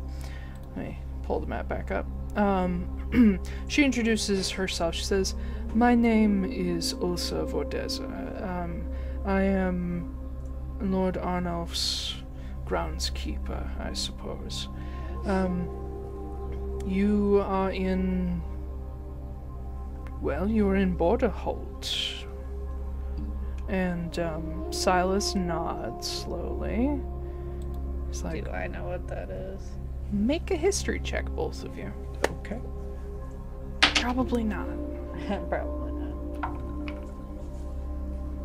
Ten. Uh, 14. Nope, no idea.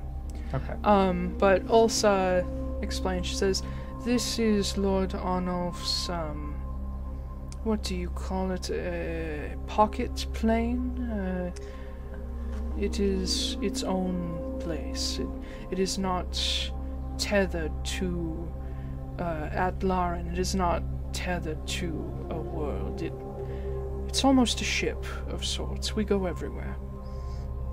And Silas nods and says, There are other places than Atlaran? Uh, I mean, of course, there are the plane of fire, plane of water, but those places?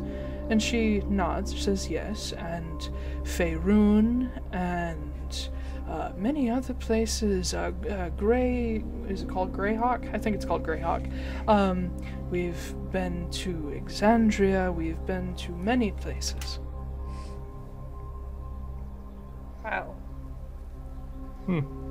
I Uh, can barely handle it, Lauren. Uh, I myself am from Faerun. I am a bit out of my element here, I suppose, but it is a good life. I knew you were gonna laugh at that. She's a little too severe to be taken seriously when she says that. Um, She's a good life. she looks at Kit and says, We don't have your kind in Faerun. What are you? Uh, I am an Elucir. Elucia. You look like an elf. Uh, yeah. It's the I ears. do. A little bit, yeah. Well, technically, Elusir are elves. Technically, technically. Technically. Technically. Um, they're Um, they're just different. yeah. That's, yeah, we kind of, we are, sort of, but not really. Furry elves. Yeah. Furries, mostly. Like Yes. Tabaxi, but less fur. Yeah, except we can choose the animals we look like. Interesting. I think we have a word for you where I come from. You're a you're a shifter. Yeah, that'll work. The creator of this world came up with such an interesting name for your kind. no, Yeah. no, no. The creator of this world is also slightly egotistical. Nah, no, not. nah. Excuse I'm me great. while I let my NPCs stroke my ego.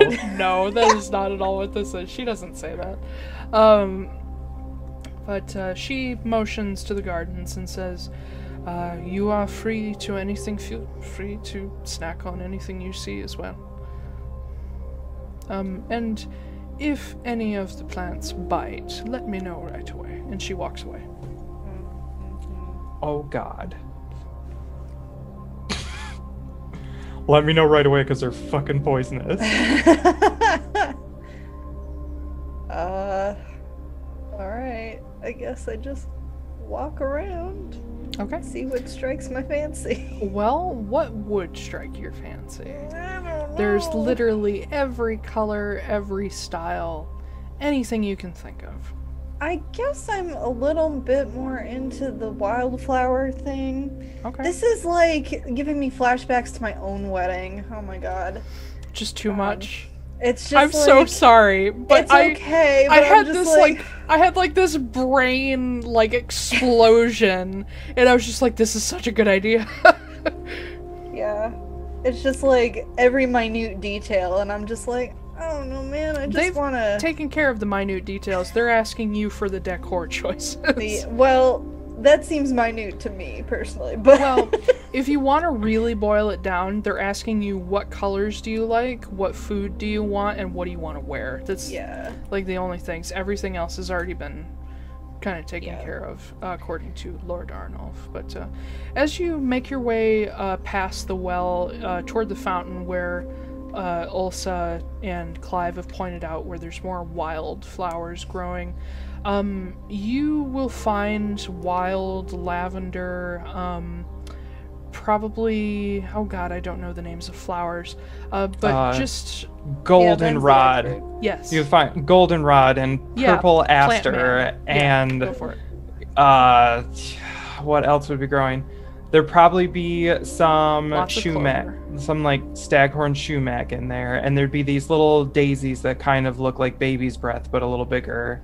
And uh, I'm just naming Michigan wildflowers at this point. Uh, there'd That'll be work. snapdragons, and there'd be clover, pink, white, red. Um, Oh boy. there would be grapevines, like Uh, you know Those what? are Lavender sounds great.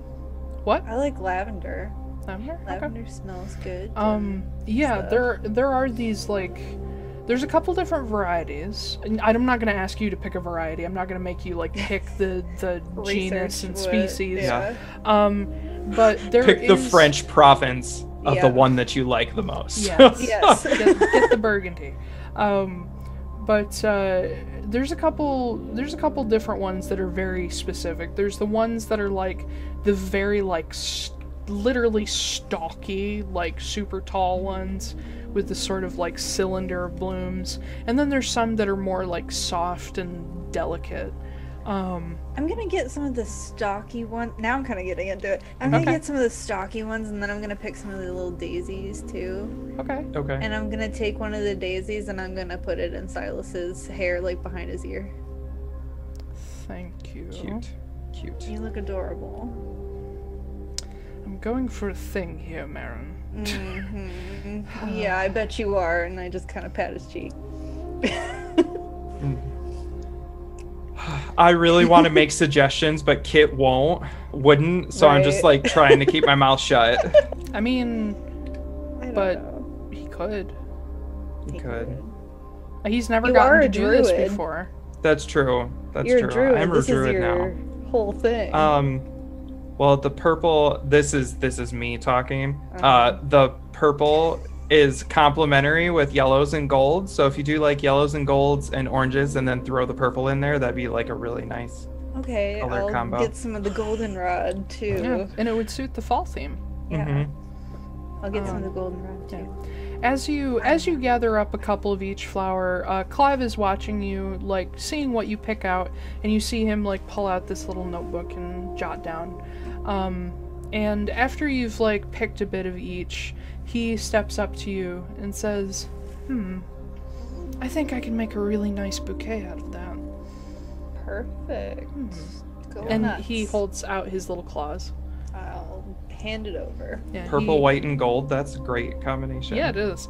He he takes it and just like buries his face in it, and then goes and picks some more. Um, and after he picks like a good bunch, he sort of trims the stems down with his claws. And once they're kind of like compact and not super like over the top huge, he uh, just sort of like flicks his wrist and they disappear. Um, he says, "I'll arrange those later." Um, and he turns to you and says, "Um, is there anything else you'd like to see there, uh, food-wise? Um, anything in the garden you really like?" Uh, I guess I'll look over. You said there were some apple blossoms on the apple trees. Yes. Okay. Uh, if I could get some, some off there too. Just some of the blossoms. Okay. And he goes toddling over, and all these apple trees are way too tall for him. Um, but um, he pulls out a little wand, and you see it casts uh, casts a version of Mage Hand that goes up and like starts plucking some blossoms off the trees. Um, they seem to be the orchard seems to be almost in each row is in a different stage of growth. So, like, one stage is a little bit barren and sort of making its way along. The next stage is beginning to bloom. The next stage is in full bloom. The next stage is starting to grow apples. And the last stage is, like, ready to pick. Um, but the tree at the very center, that the branches just extend over the entire orchard, um, almost like this mother tree at the middle, um, seems to be constantly blooming. Um, and uh, as as he gets down a few of the blooms and like wrist pockets those away, you realize that's what he's doing. Um, he motions to the big tree uh, and says, "Um, Miss Vin- Marin, Marin, Good, good job. um, someone told me your sister liked apple trees. yeah. God, he's Yeah. well informed. That. Yeah. How Um, did? Okay. Can I? It, up to you. Um, we were planning on leaving a seat open for her. Um, and would you mind if I put a apple blossom garland on it? Yeah, that would be lovely. Okay. And he zooms off uh, to go get some apple blossoms from the main tree. Um, make a perception check, all of you. Oh God. The snake statue comes to life and attacks you. That's what you Twenty-seven. were thinking. Five. 27? And what? Five. Oh, great. Uh, Kit. um, yeah, I off- definitely see everything. off toward the gazebo, there's a particular tree just beyond it that catches your attention. Um, it at first appears almost like an oak, but with like really, really big leaves. Um, but you notice the Sycamore. you notice the leaves are like a little fat, like they have some heft to them. Um, almost like um, almost like succulent leaves. Hmm. Um, and the branches aren't like they don't branch off into little twigs. They're all like super, super strong, like thick limbs. Um, and the tree itself looks like it twists as it grows. Um, and at the very top of it, you see in the nest of the branches, you see this beautiful white orchid flower growing out of the center of it. Um, sort of this delicate little plant in the middle of this weird alien tree. Um, make me a wisdom save. Uh, Okay. I knew this place would do good to be uh, twenty-five. Just made it. Um, Uh-huh. Uh huh. There's a moment where you see that little flower and you're like, that would be perfect. We need that. We we should take it with us. And you find yourself taking a couple steps and then you stop. You're like, wait, what? No. Alien tree. No. What?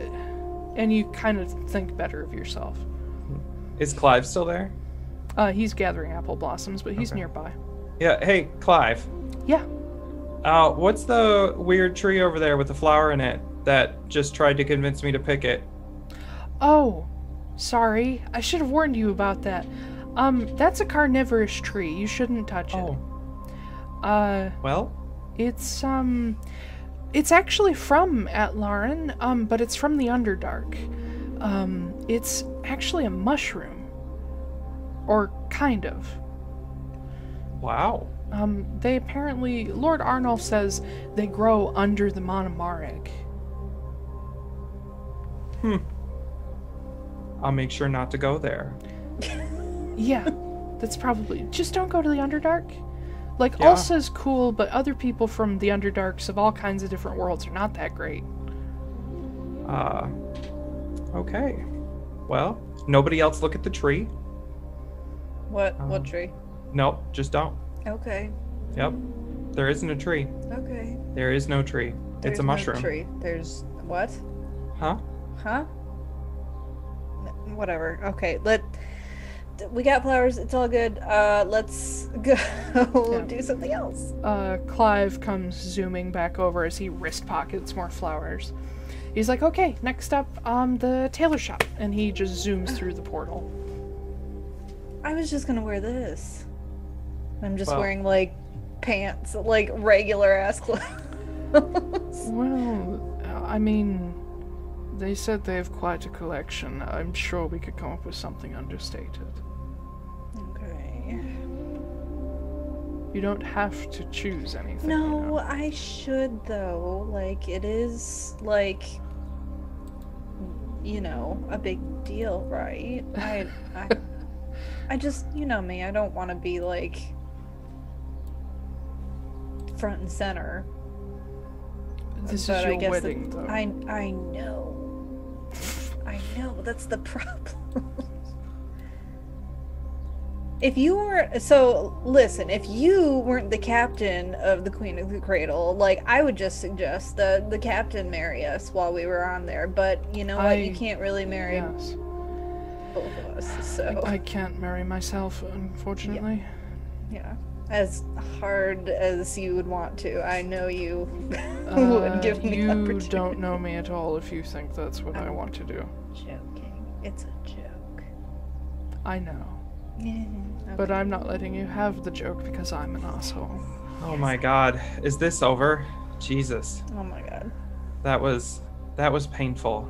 But You'll understand sorry. when someday when you grow up, kid. And he steps through the portal. Somewhere Sylfie is so happy. Somewhere in a pile of ash, Sylfie Yep. is very happy. Oh my god. She's just like burn. um, yeah. Yeah. Um, as you guys make your way back through the portal and into the main hall, uh, Miss Rhoda is still there. Uh, and you see Clive walking up to her with uh, a bunch of these apple blossoms and handing them to her as he's like whispering to her. Um, she takes them and uh, sort of considers them and nods, and he goes and gives the apple blossoms to a bunch of kobolds that are waiting nearby um, along with some of the uh, along with the flowers that he's going to arrange, um, and they're taken away. Uh, and uh, Miss Rhoda looks at all of you and says, "Well, that was fast." Um, Uh, oh, I should have taken more time. Uh, no, not at all. Um, I just, They were expecting us to get eaten by the tree. oh the tree. Tr- I'm so sorry about him. He's very um, persuasive. Yeah, well, he's not that persuasive. Well, clearly. Yeah, good thing for me, I'm stubborn as fuck. It's true. In in indeed, Mr. Kit. And wise. I'm so wise. That's less true, but Well, Um, she motions to the other portal across the way. She says, uh, "Our tailor, uh, Joss, is uh, waiting for you whenever you're ready. Um, take your time or don't, whatever you like." What? I just looked at the next map. All right, continue. Oh, I haven't seen it yet. This is the biggest Oh. FurCon we've ever been to. I had that thought while I was building this. It's like there's so many fucking furry things here. There are canitars. Oh my there are tabaxis. Yeah. Everywhere. Yes. Furries. Yep. And scalies with all the kobolds. And scalies. Oh my god. um, like we're at FurCon in Chicago. yep. indeed. Mhm. I cater to all. Uh, but especially the fuzzy ones. especially the fuzzy ones. Listen, I have no shame in being a furry. I don't mind.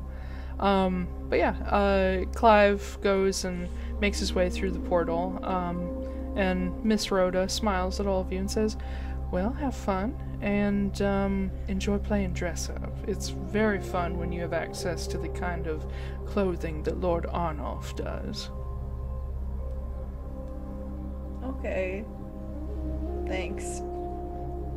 You uh, all, are you okay? Veneer? Yes. It's great. Thank you. Really, like this is very generous and nice. That sounds like a forced thank you. No. I know we're overwhelming you, darling. Oh, okay. It's it's fine. Thank you. Have fun, dear. Thanks. I will. Silas, still holding your hand, is like, let's go. He's like, I'm just as awkward as you are, I just don't have the inclination to talk. I don't know why. Like it's just like It's how vomit. you fill space. I don't know why you do it, but you do it. I don't know. I love to talk. Yeah. Yes, I'm the we're talkingest damn thing you ever saw. Fine. Get talking then. You get to Actually, make Marin, decisions. What? could I, could I talk to you for just a moment? Oh God. Something unrelated. You're Sure. Yeah, feel you're free to calling converse. it off, aren't you? Okay. Absolutely not. Come here. And he Okay, like alright. wraps an arm around you and takes you off to the side a bit. okay. The Can't go still- go pick out something to wear. Oh my god. Oh god. Really And- taking forever. Go pick out something to wear. You, they said you could pick out something too. Go. I'll go first and go pick out something to wear while they're chit chatting. Okay, we'll get to you in a second. Okay. Um, Silas takes you over to the side, away from the many, many kobolds. Um, less now that they've figured out the place settings, but um, he takes you off to the side of the hall. Says, first of all, no, I'm not calling off the wedding. Okay. Good. Just get that out of your head. I'm not I- backing out. Uh, okay. I'm, Insight I'm check. serious. Okay, yeah, Insight yeah, check. No. Okay. I'll do it just for funsies. I was kind of joking. Me but- roll deception now. God. Uh, ten. You're not sure. Uh, You. There's something. It's not necessarily him, it's your own anxiety in your head building up like a single look or a single word said weird. That's just like, he doesn't want this. He's just doing this because he's nice. Oh god. Oh what, was god. that, what was that? We're gonna be divorced in like two days. Oh god. You did. You did like an eyebrow thing. You, you did I this. always do eyebrow things that Yeah, are but you expressive. did it like you did it like a little bit more than usual. Okay, sorry. No. T- um. What did you want to tell me, I didn't want to. darling? That's my word. Thank I you. know. Uh, just. Tell I think yours is just sigh at this point. Yeah. Both the sound and the word. Literally.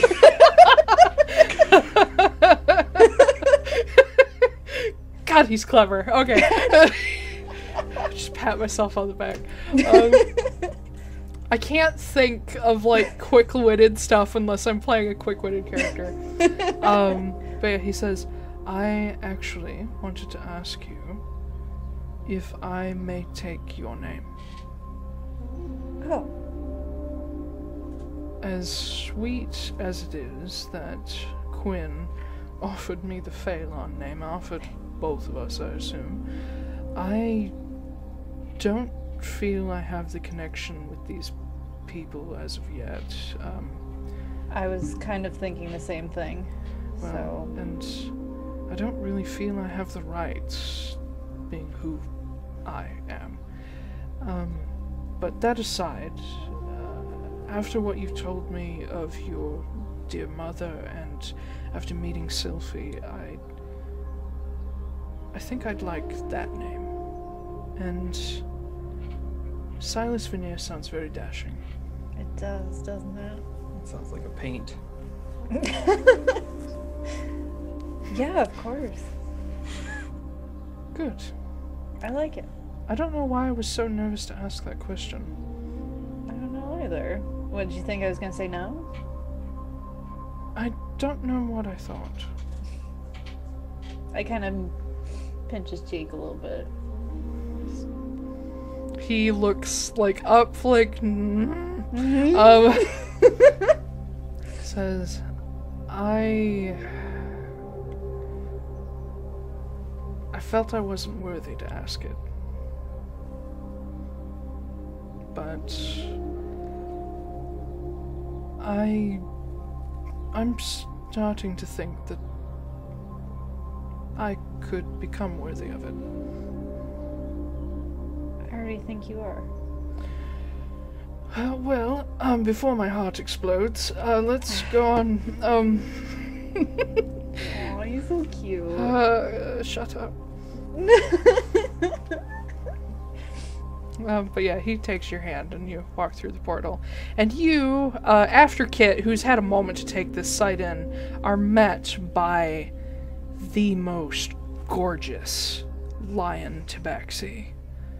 He's ripped. Um, Aslan. Kind of Aslan. kind of like Aslan. Aslan to actually form. If you're into Aslan, God. sure, that's exactly what he is. Um, but no, he's I imagine there's like a fan in his hair. Yeah. It's just like, yeah, it's this long. maybe he's born with it. he has he's this like- long, beautiful Maybe it's thaumaturgy. golden mane. Um, he's standing under an air conditioning vent. Uh, Yeah. like Matt. He's like Matt. yeah. Um, yeah. Just but um, he has he's wearing this very nice um, actually kind of similar to what i'm wearing brocade vest uh, over a white shirt uh, dark trousers no boots because tabaxi don't need to wear them. Um, and he has like a tailor's tape measure around his neck and he's got like a little apron like a half apron with uh, some stuff uh, different tools in it. Um, and he's got uh, he would have like the little pince nez because you can't get glasses to fit a tabaxi, so he's got the little ones that clip onto the bridge of the nose. Cute. Um, and at the moment, he has this uh, what looks to be uh, like a basically a kobold-sized little little suit in his hands on a hanger, and he's looking at a tear in one of the sleeves. Um, as this uh, other little kobold is up next to him, looking kind of sheepish. Um, oh.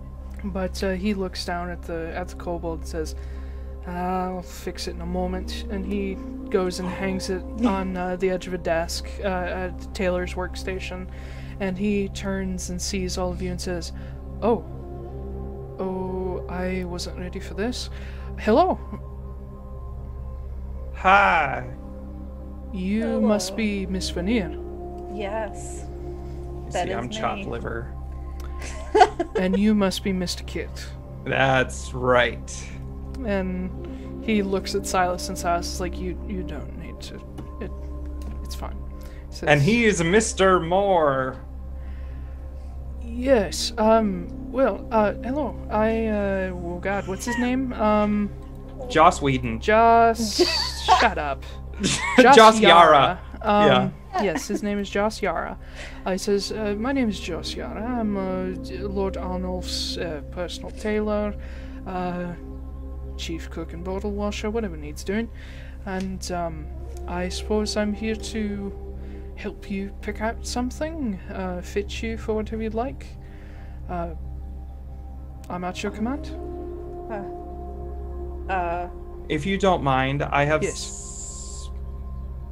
S- something I need to do while they're fucking around. So if we could just pick mine out real quick. Yeah, let him go first. Sure. Uh, what- Sorry. uh, any particular culture you'd like? Um, Uh, I just want to fit in. so I suppose we're going with the sort of uh, casual Constanian style. I don't know what that means. He points at Silas, who's wearing Oh, yeah. this. I mean, that's that's fine. If we could do something a little less ridiculous, yeah. Um, yes, we'll get you something without a cravat and something with a lower collar.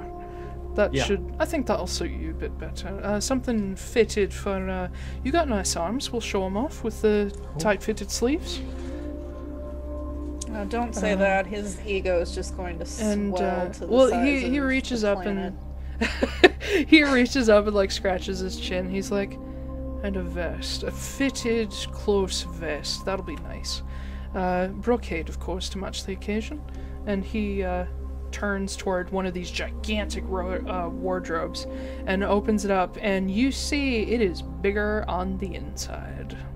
Um, he opens it up and actually steps up my into it. It's like watching Oz. There's go through the so wardrobe. much fucking fan service going on in this episode. It is There is. ridiculous. There Aslan's got the. TARDIS. Oh His my name is God. Joss Whedon. Actually, I was going for more of a Narnia. It's a furry feel. convention. I was going for more of a Narnia feel, but sure, TARDIS. Um, but yeah, Oh my he actually steps up into the wardrobe. Um, and Is there a witch in there? Because there's, a lion in that probably- wardrobe. There's probably a witch in one of them, because all a lot of the kobolds are witches. So You just yeah, open up one and they're like, blah. little kobolds just like yeah. um, Oh my god. eleven days. I win. Uh, yeah. Oh. Sorry. my God, I love Spurt. He's so good. He inspires every kobold I make. R.I.P. Um, Spurt.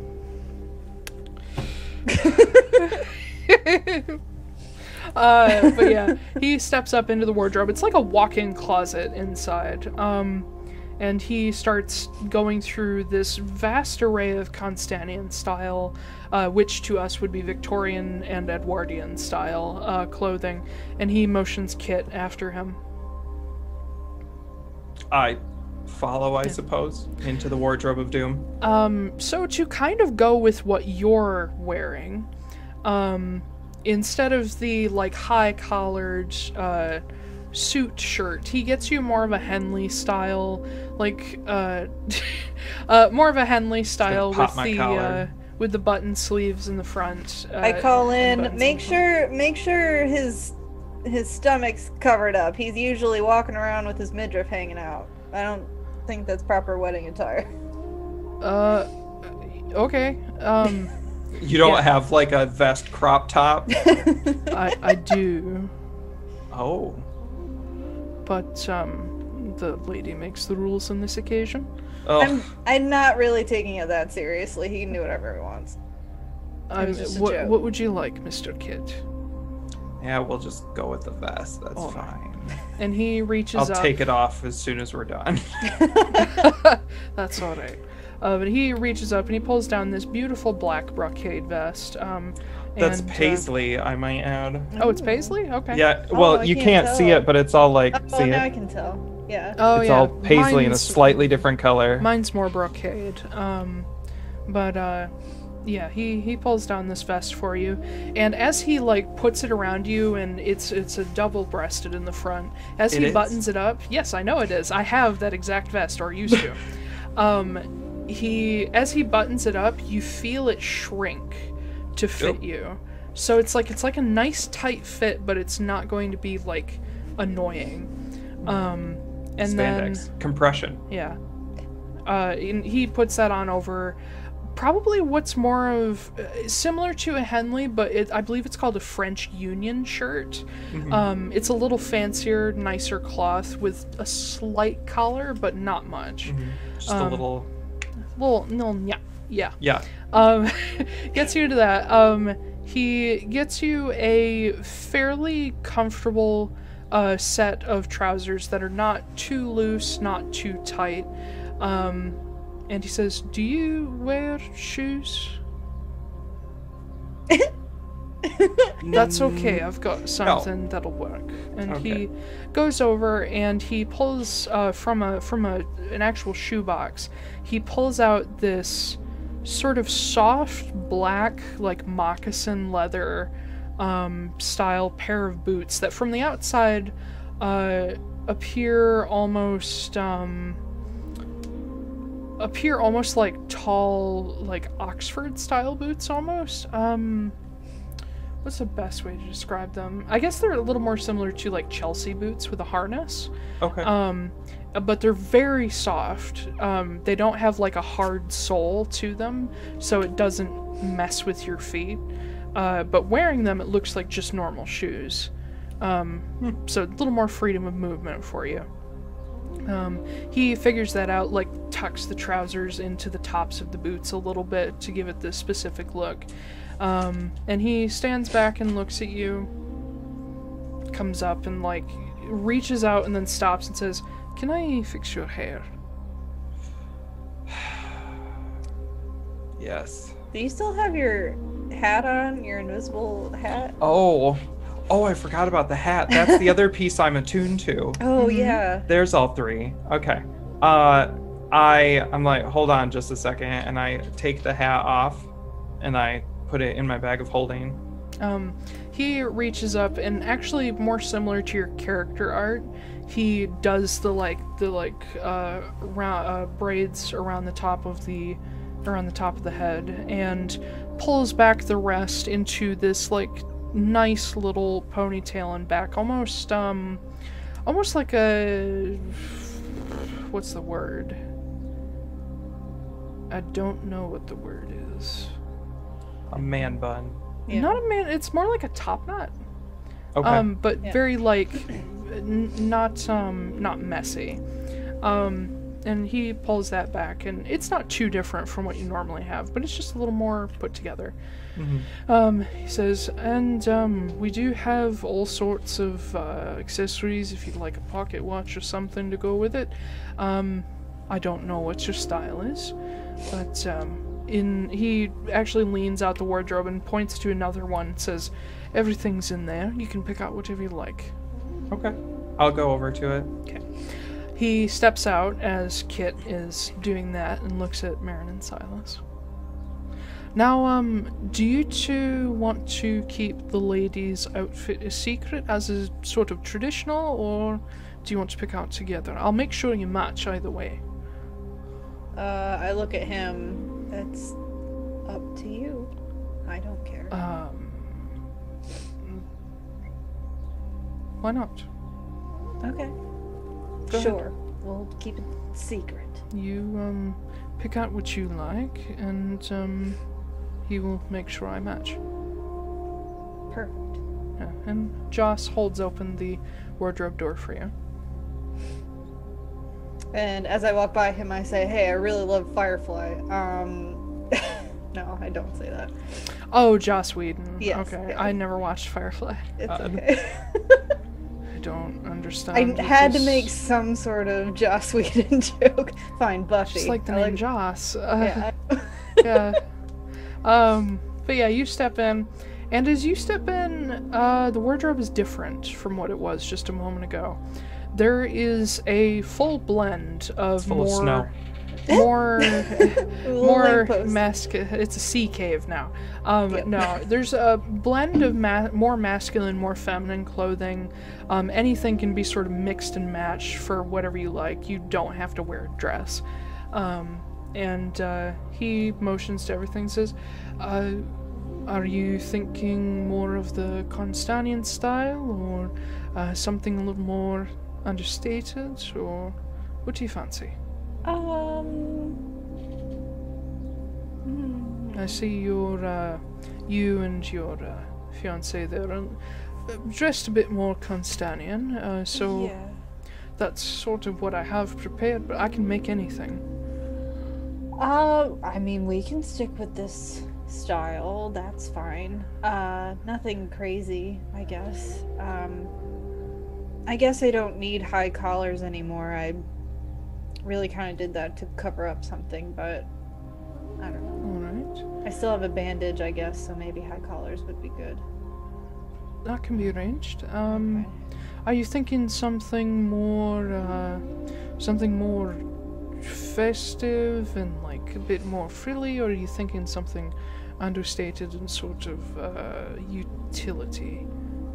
Uh, I mean, I guess something that won't. Something that I won't mind wearing for a few hours, I guess. Okay. Something that I'm not gonna want to rip off of me as soon as this I is won't make you wear anything uncomfortable. Don't worry. I- Um. Hmm. And he glances around. He says, "I'm aware that you occasionally wear this uh, this blue jacket. yeah. Uh, do you want a dress or something else?" Dress is fine. I'm fine with dresses. Okay. He glances over and um, he goes over to one rack that has this uh, longer, sort of uh, longer black dress on it. It has um, it's sort of like cut to be like shoulder. Uh, it's a shoulderless dress, so it like cuts across the chest and the just under the shoulders, like follows the clavicle almost um, but it's it's still cut high enough that it won't just fall off. Um, almost like Yasha's dress a little bit, Oh, okay. um, but not Yeah. quite the insane hip slit. yeah. It's not it's not a it's not an underwearless dress. Yeah. Uh, but uh, he takes that and he says, "Dark or light." Dark's good. I'm Alright. sure he'll go for dark, so. I I assumed. Uh, it seems there's not going to be a lot of white at this wedding, but what little there is will pop. And uh, he steps up to you, sort of holds the dress in front of you. He says, uh, "Do you like the shoulderless? Do you, would you like a shawl? Um, being that the neck thing." Yeah, that's a little exposed. Uh, Um, Let me one moment. And he sets the dress aside, and he goes and plucks out this uh, to sort of match your attire. He plucks out this like dark blue, um, partly like what's the word? Almost like a macrame shawl. Um, it, it has very much like fall vibes to it. It's like halfway Oh. between macrame and cable knit. yeah. And you start looking like Stevie Nicks. yeah. yeah, kind of. Um, but it has enough coverage that it will kind of sit on the back of your neck and cover up anything. Um, but it'll leave, it'll sort of uh, hang down almost curtain like. Um, it's got this very, with the dress, it's got this very flowy quality to it. Um, it just sort of drapes while the dress actually fits to the form a little more. Um, he says, This should be comfortable, and, um, I mean, I think you'd look lovely in it. You clearly already look lovely in these. God damn it, I'm going Australian. Um, Good eye. uh, my mother's a bear. Yeah. it's my gateway phrase. I love that that's the gateway for Scottish forever. it has to be for an American. Thank you, Robot Chicken. Thank you. well, no, thank you, Merida.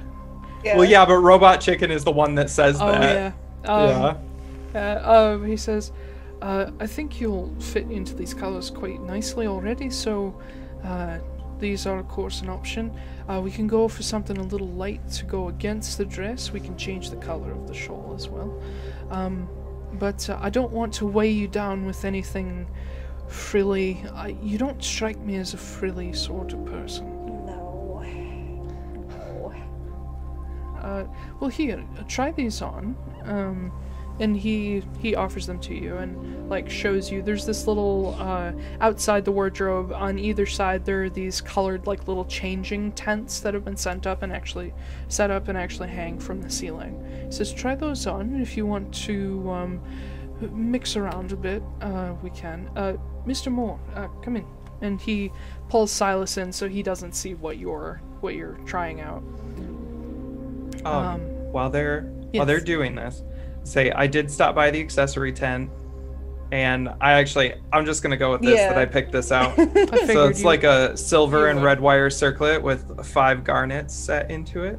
Mm-hmm. um, just because you know why not? And then because I can, and I actually own it, so and it's pretty. Uh, so I now your Halloween costume makes sense. Yeah.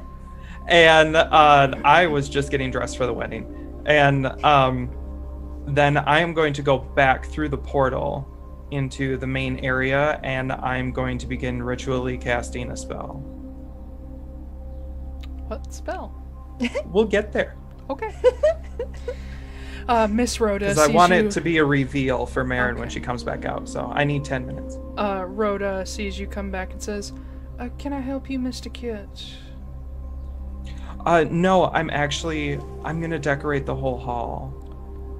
Uh, well, that's what all of our helpers are here for. Anything they can do to help you. Um, just this will all technically be an illusion, so any accent pieces they can throw in would be great once I get it done. Of course. Go ahead. Um, and she sort of steps back and gives you your space. I sit down in the middle of that stone circle, Mhm. And I'm not gonna tell you what the spell is, Okay. but I take out I take out a stone, a twig, and a leaf, a green leaf that I took from the garden. I just hold them all out in front of me and start start making some fucking magic. Okay. Uh, yes, but Marin, you uh, you managed to change pretty quickly into this dress. It is shockingly comfortable. Like the the fabric looks twirl around a much more uncomfortable than it is, and the the shawl isn't like scratchy like you thought it might be. It feels all very soft and light, almost to the point where you're like, "Am I actually wearing anything?" And you are. Oh, jokes on Um, you! That spider bitch made all of this silk that you're wearing. Oh no. That's not how that works. Oh, okay. Well, Uh, now the million dollar question: Does it have pockets? Yes.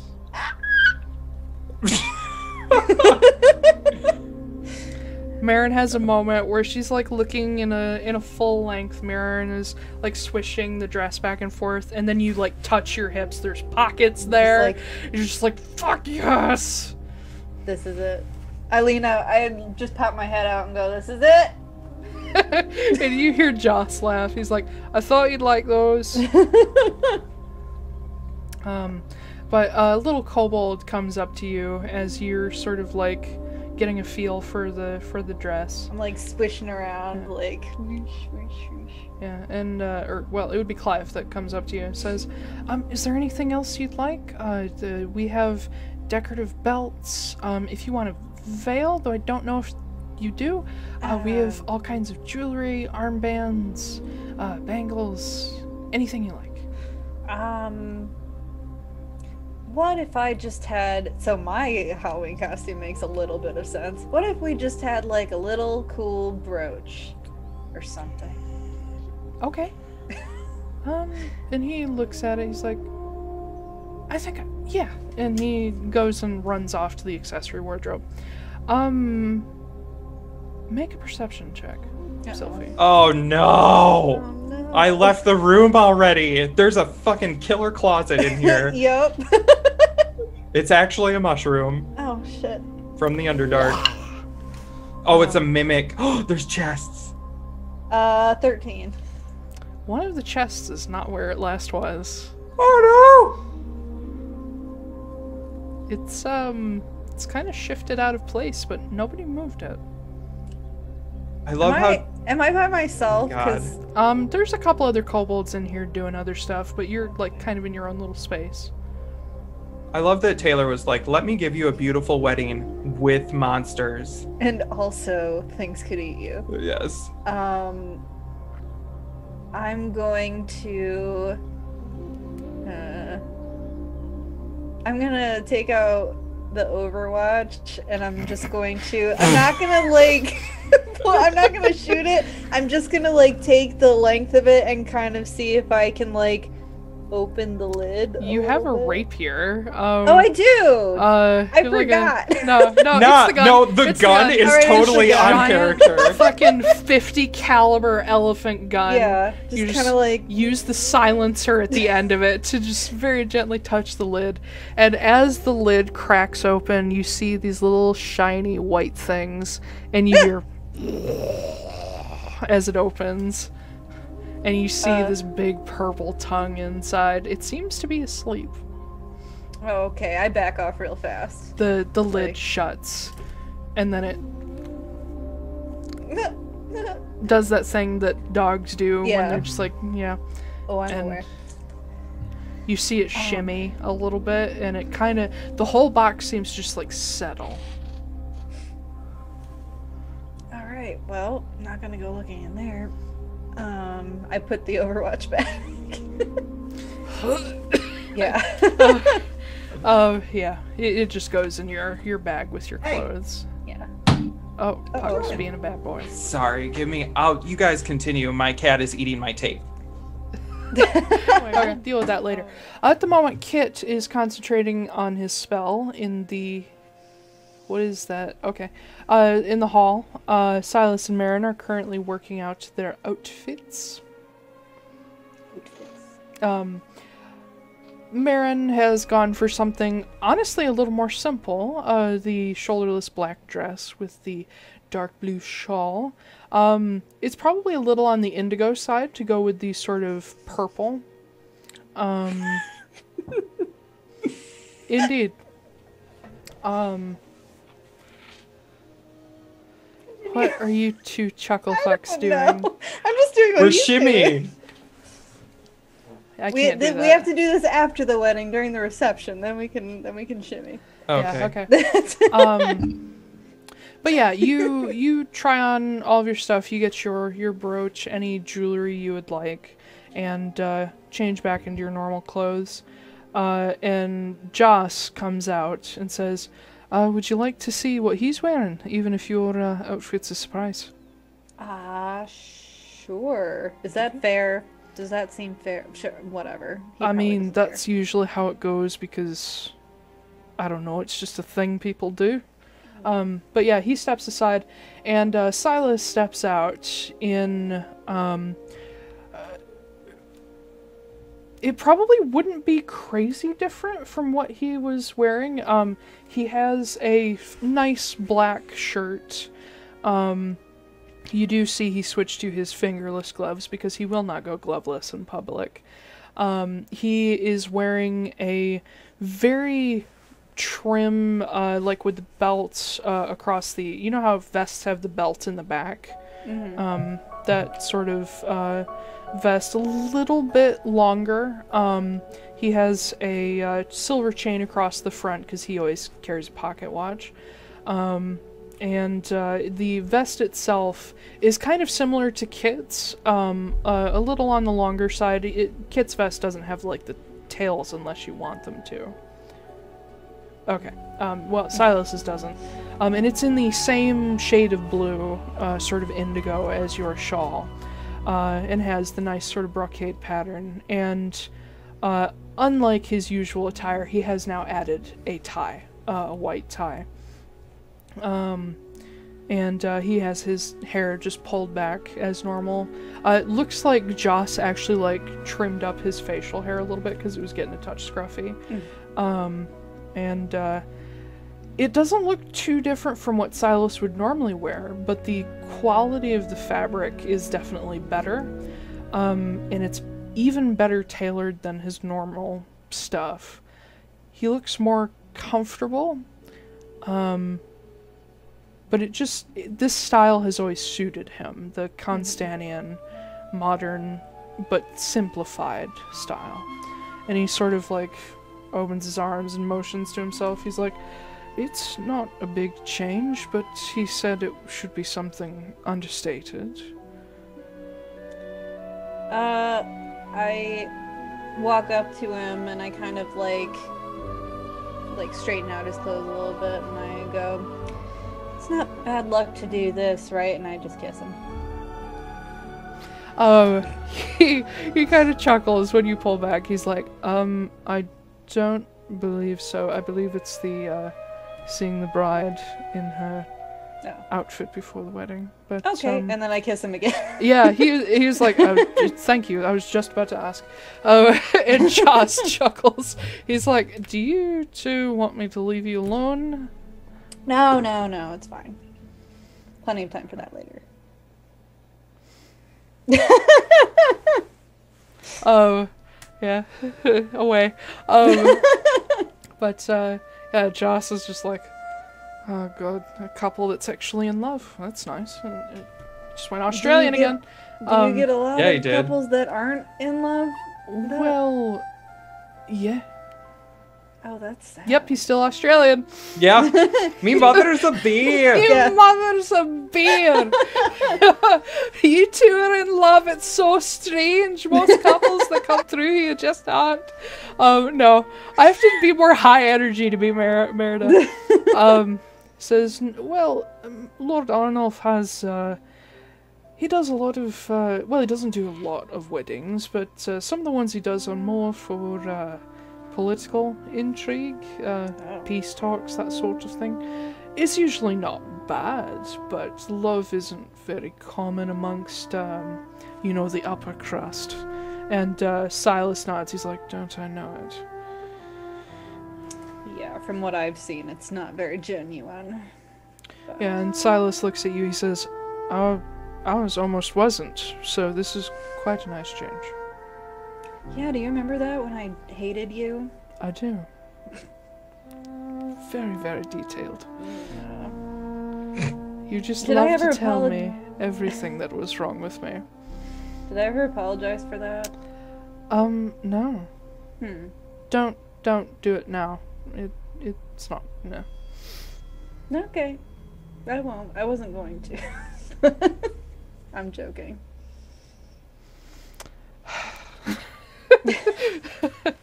It's like I no, that's why I'm marrying you. All right. Um Where's Kit?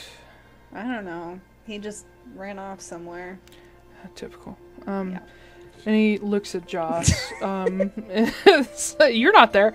Uh You just hear Kit scoff from the other side of the portal. Uh, he looks at Joss and says, Is there anything else we need to pick out? And Joss shrugs and says, Unless there's something you want your guests to wear, I thought it was going to be more of a casual occasion. Um, I've got everything I need. Perfect. Well, uh, enjoy the rest of your. I imagine you're going to the kitchens next. Um, Chef Zuka is um, he's a card. Have fun. And uh, he turns and walks back into one of the wardrobes, and you watch as Silas like turns and looks, and suddenly he's back in his old clothes. He's like Oh, whoa. Did he call him a carrot? Card. a card. Oh, card. He's a I card. wasn't sure if you said carrot or cunt, and I was like, what did you say? He's a card. Uh, card. Okay. yeah, okay, in okay. Scottish. God, that could be a lot of words. Yeah. Um, but yeah, you guys make your way back through the portal. Kit, what do they see? So, this is exciting. So, I cast hallucinatory terrain, Oh, it's and. Oh no. and so as you walk back out of the portal, um, I'm imagining that our that the wedding is taking the altar is like taking place on that circular stone. Yes. Okay.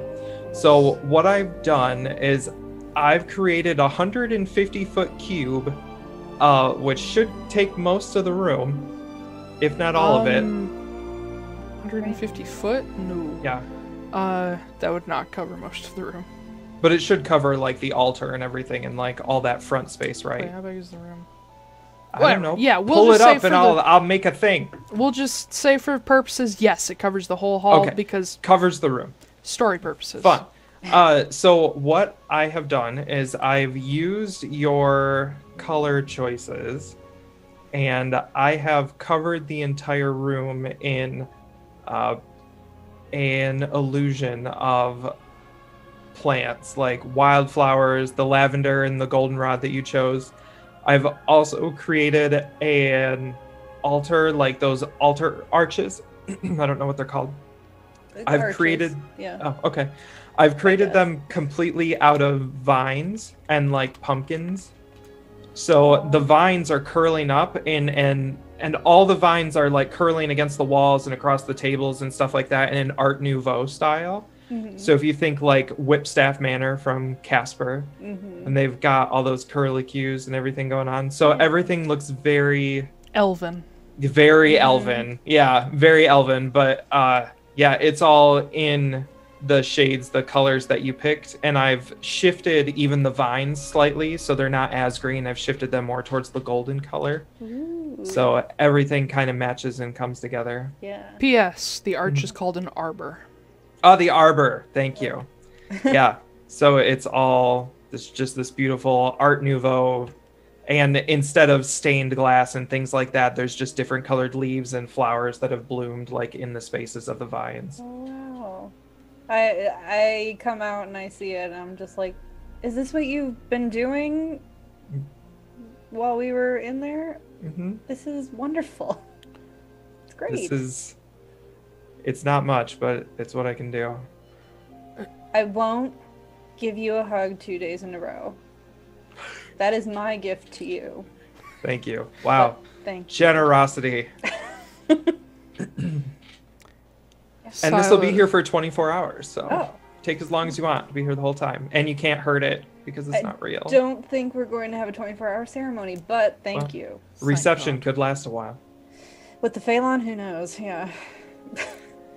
Um, Silas actually steps up, and he, regardless of what you say, puts his hand on your shoulder, Kit. Says, Thank you, Kit.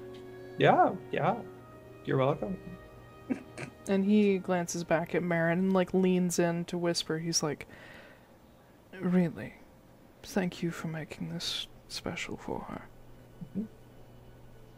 it's for you too buddy Ah, it's, it's for her. oh okay well i mean i could throw in a few like i don't know do you need like some black vines thrown in to like make you feel more at home What are you two whispering about over there? Uh, kissing. Don't worry about it. And he Yeah. steps away. Um. Anyway, shall we meet this strange chef? Apparently. yeah I'll- i'll come with you I to the food guess. Uh, yeah, they he warned me that he's a little bit weird, so So we've had the people eating tree, and now we've got a weird. there was a Chef. mimic in my uh in my dressing room. That Do was they have- bad. Do they have a cleaning staff here? Like, what does? Wow. I- Literally know. see a hundred kobolds. Yeah, but none Why- of them take care of the dangerous shit. It's because the dangerous stu- stuff is part of the fun. Oh, Super fun. So much on your fun. wedding day. yeah. I mean, you guys didn't even notice that one of the tailor's desks was also a mimic, and one of the wardrobes was Oh. a mimic. oh. They're all pets. Oh, oh my god. that's pretty cute. Um. Uh, yeah. Uh, so you guys make your way.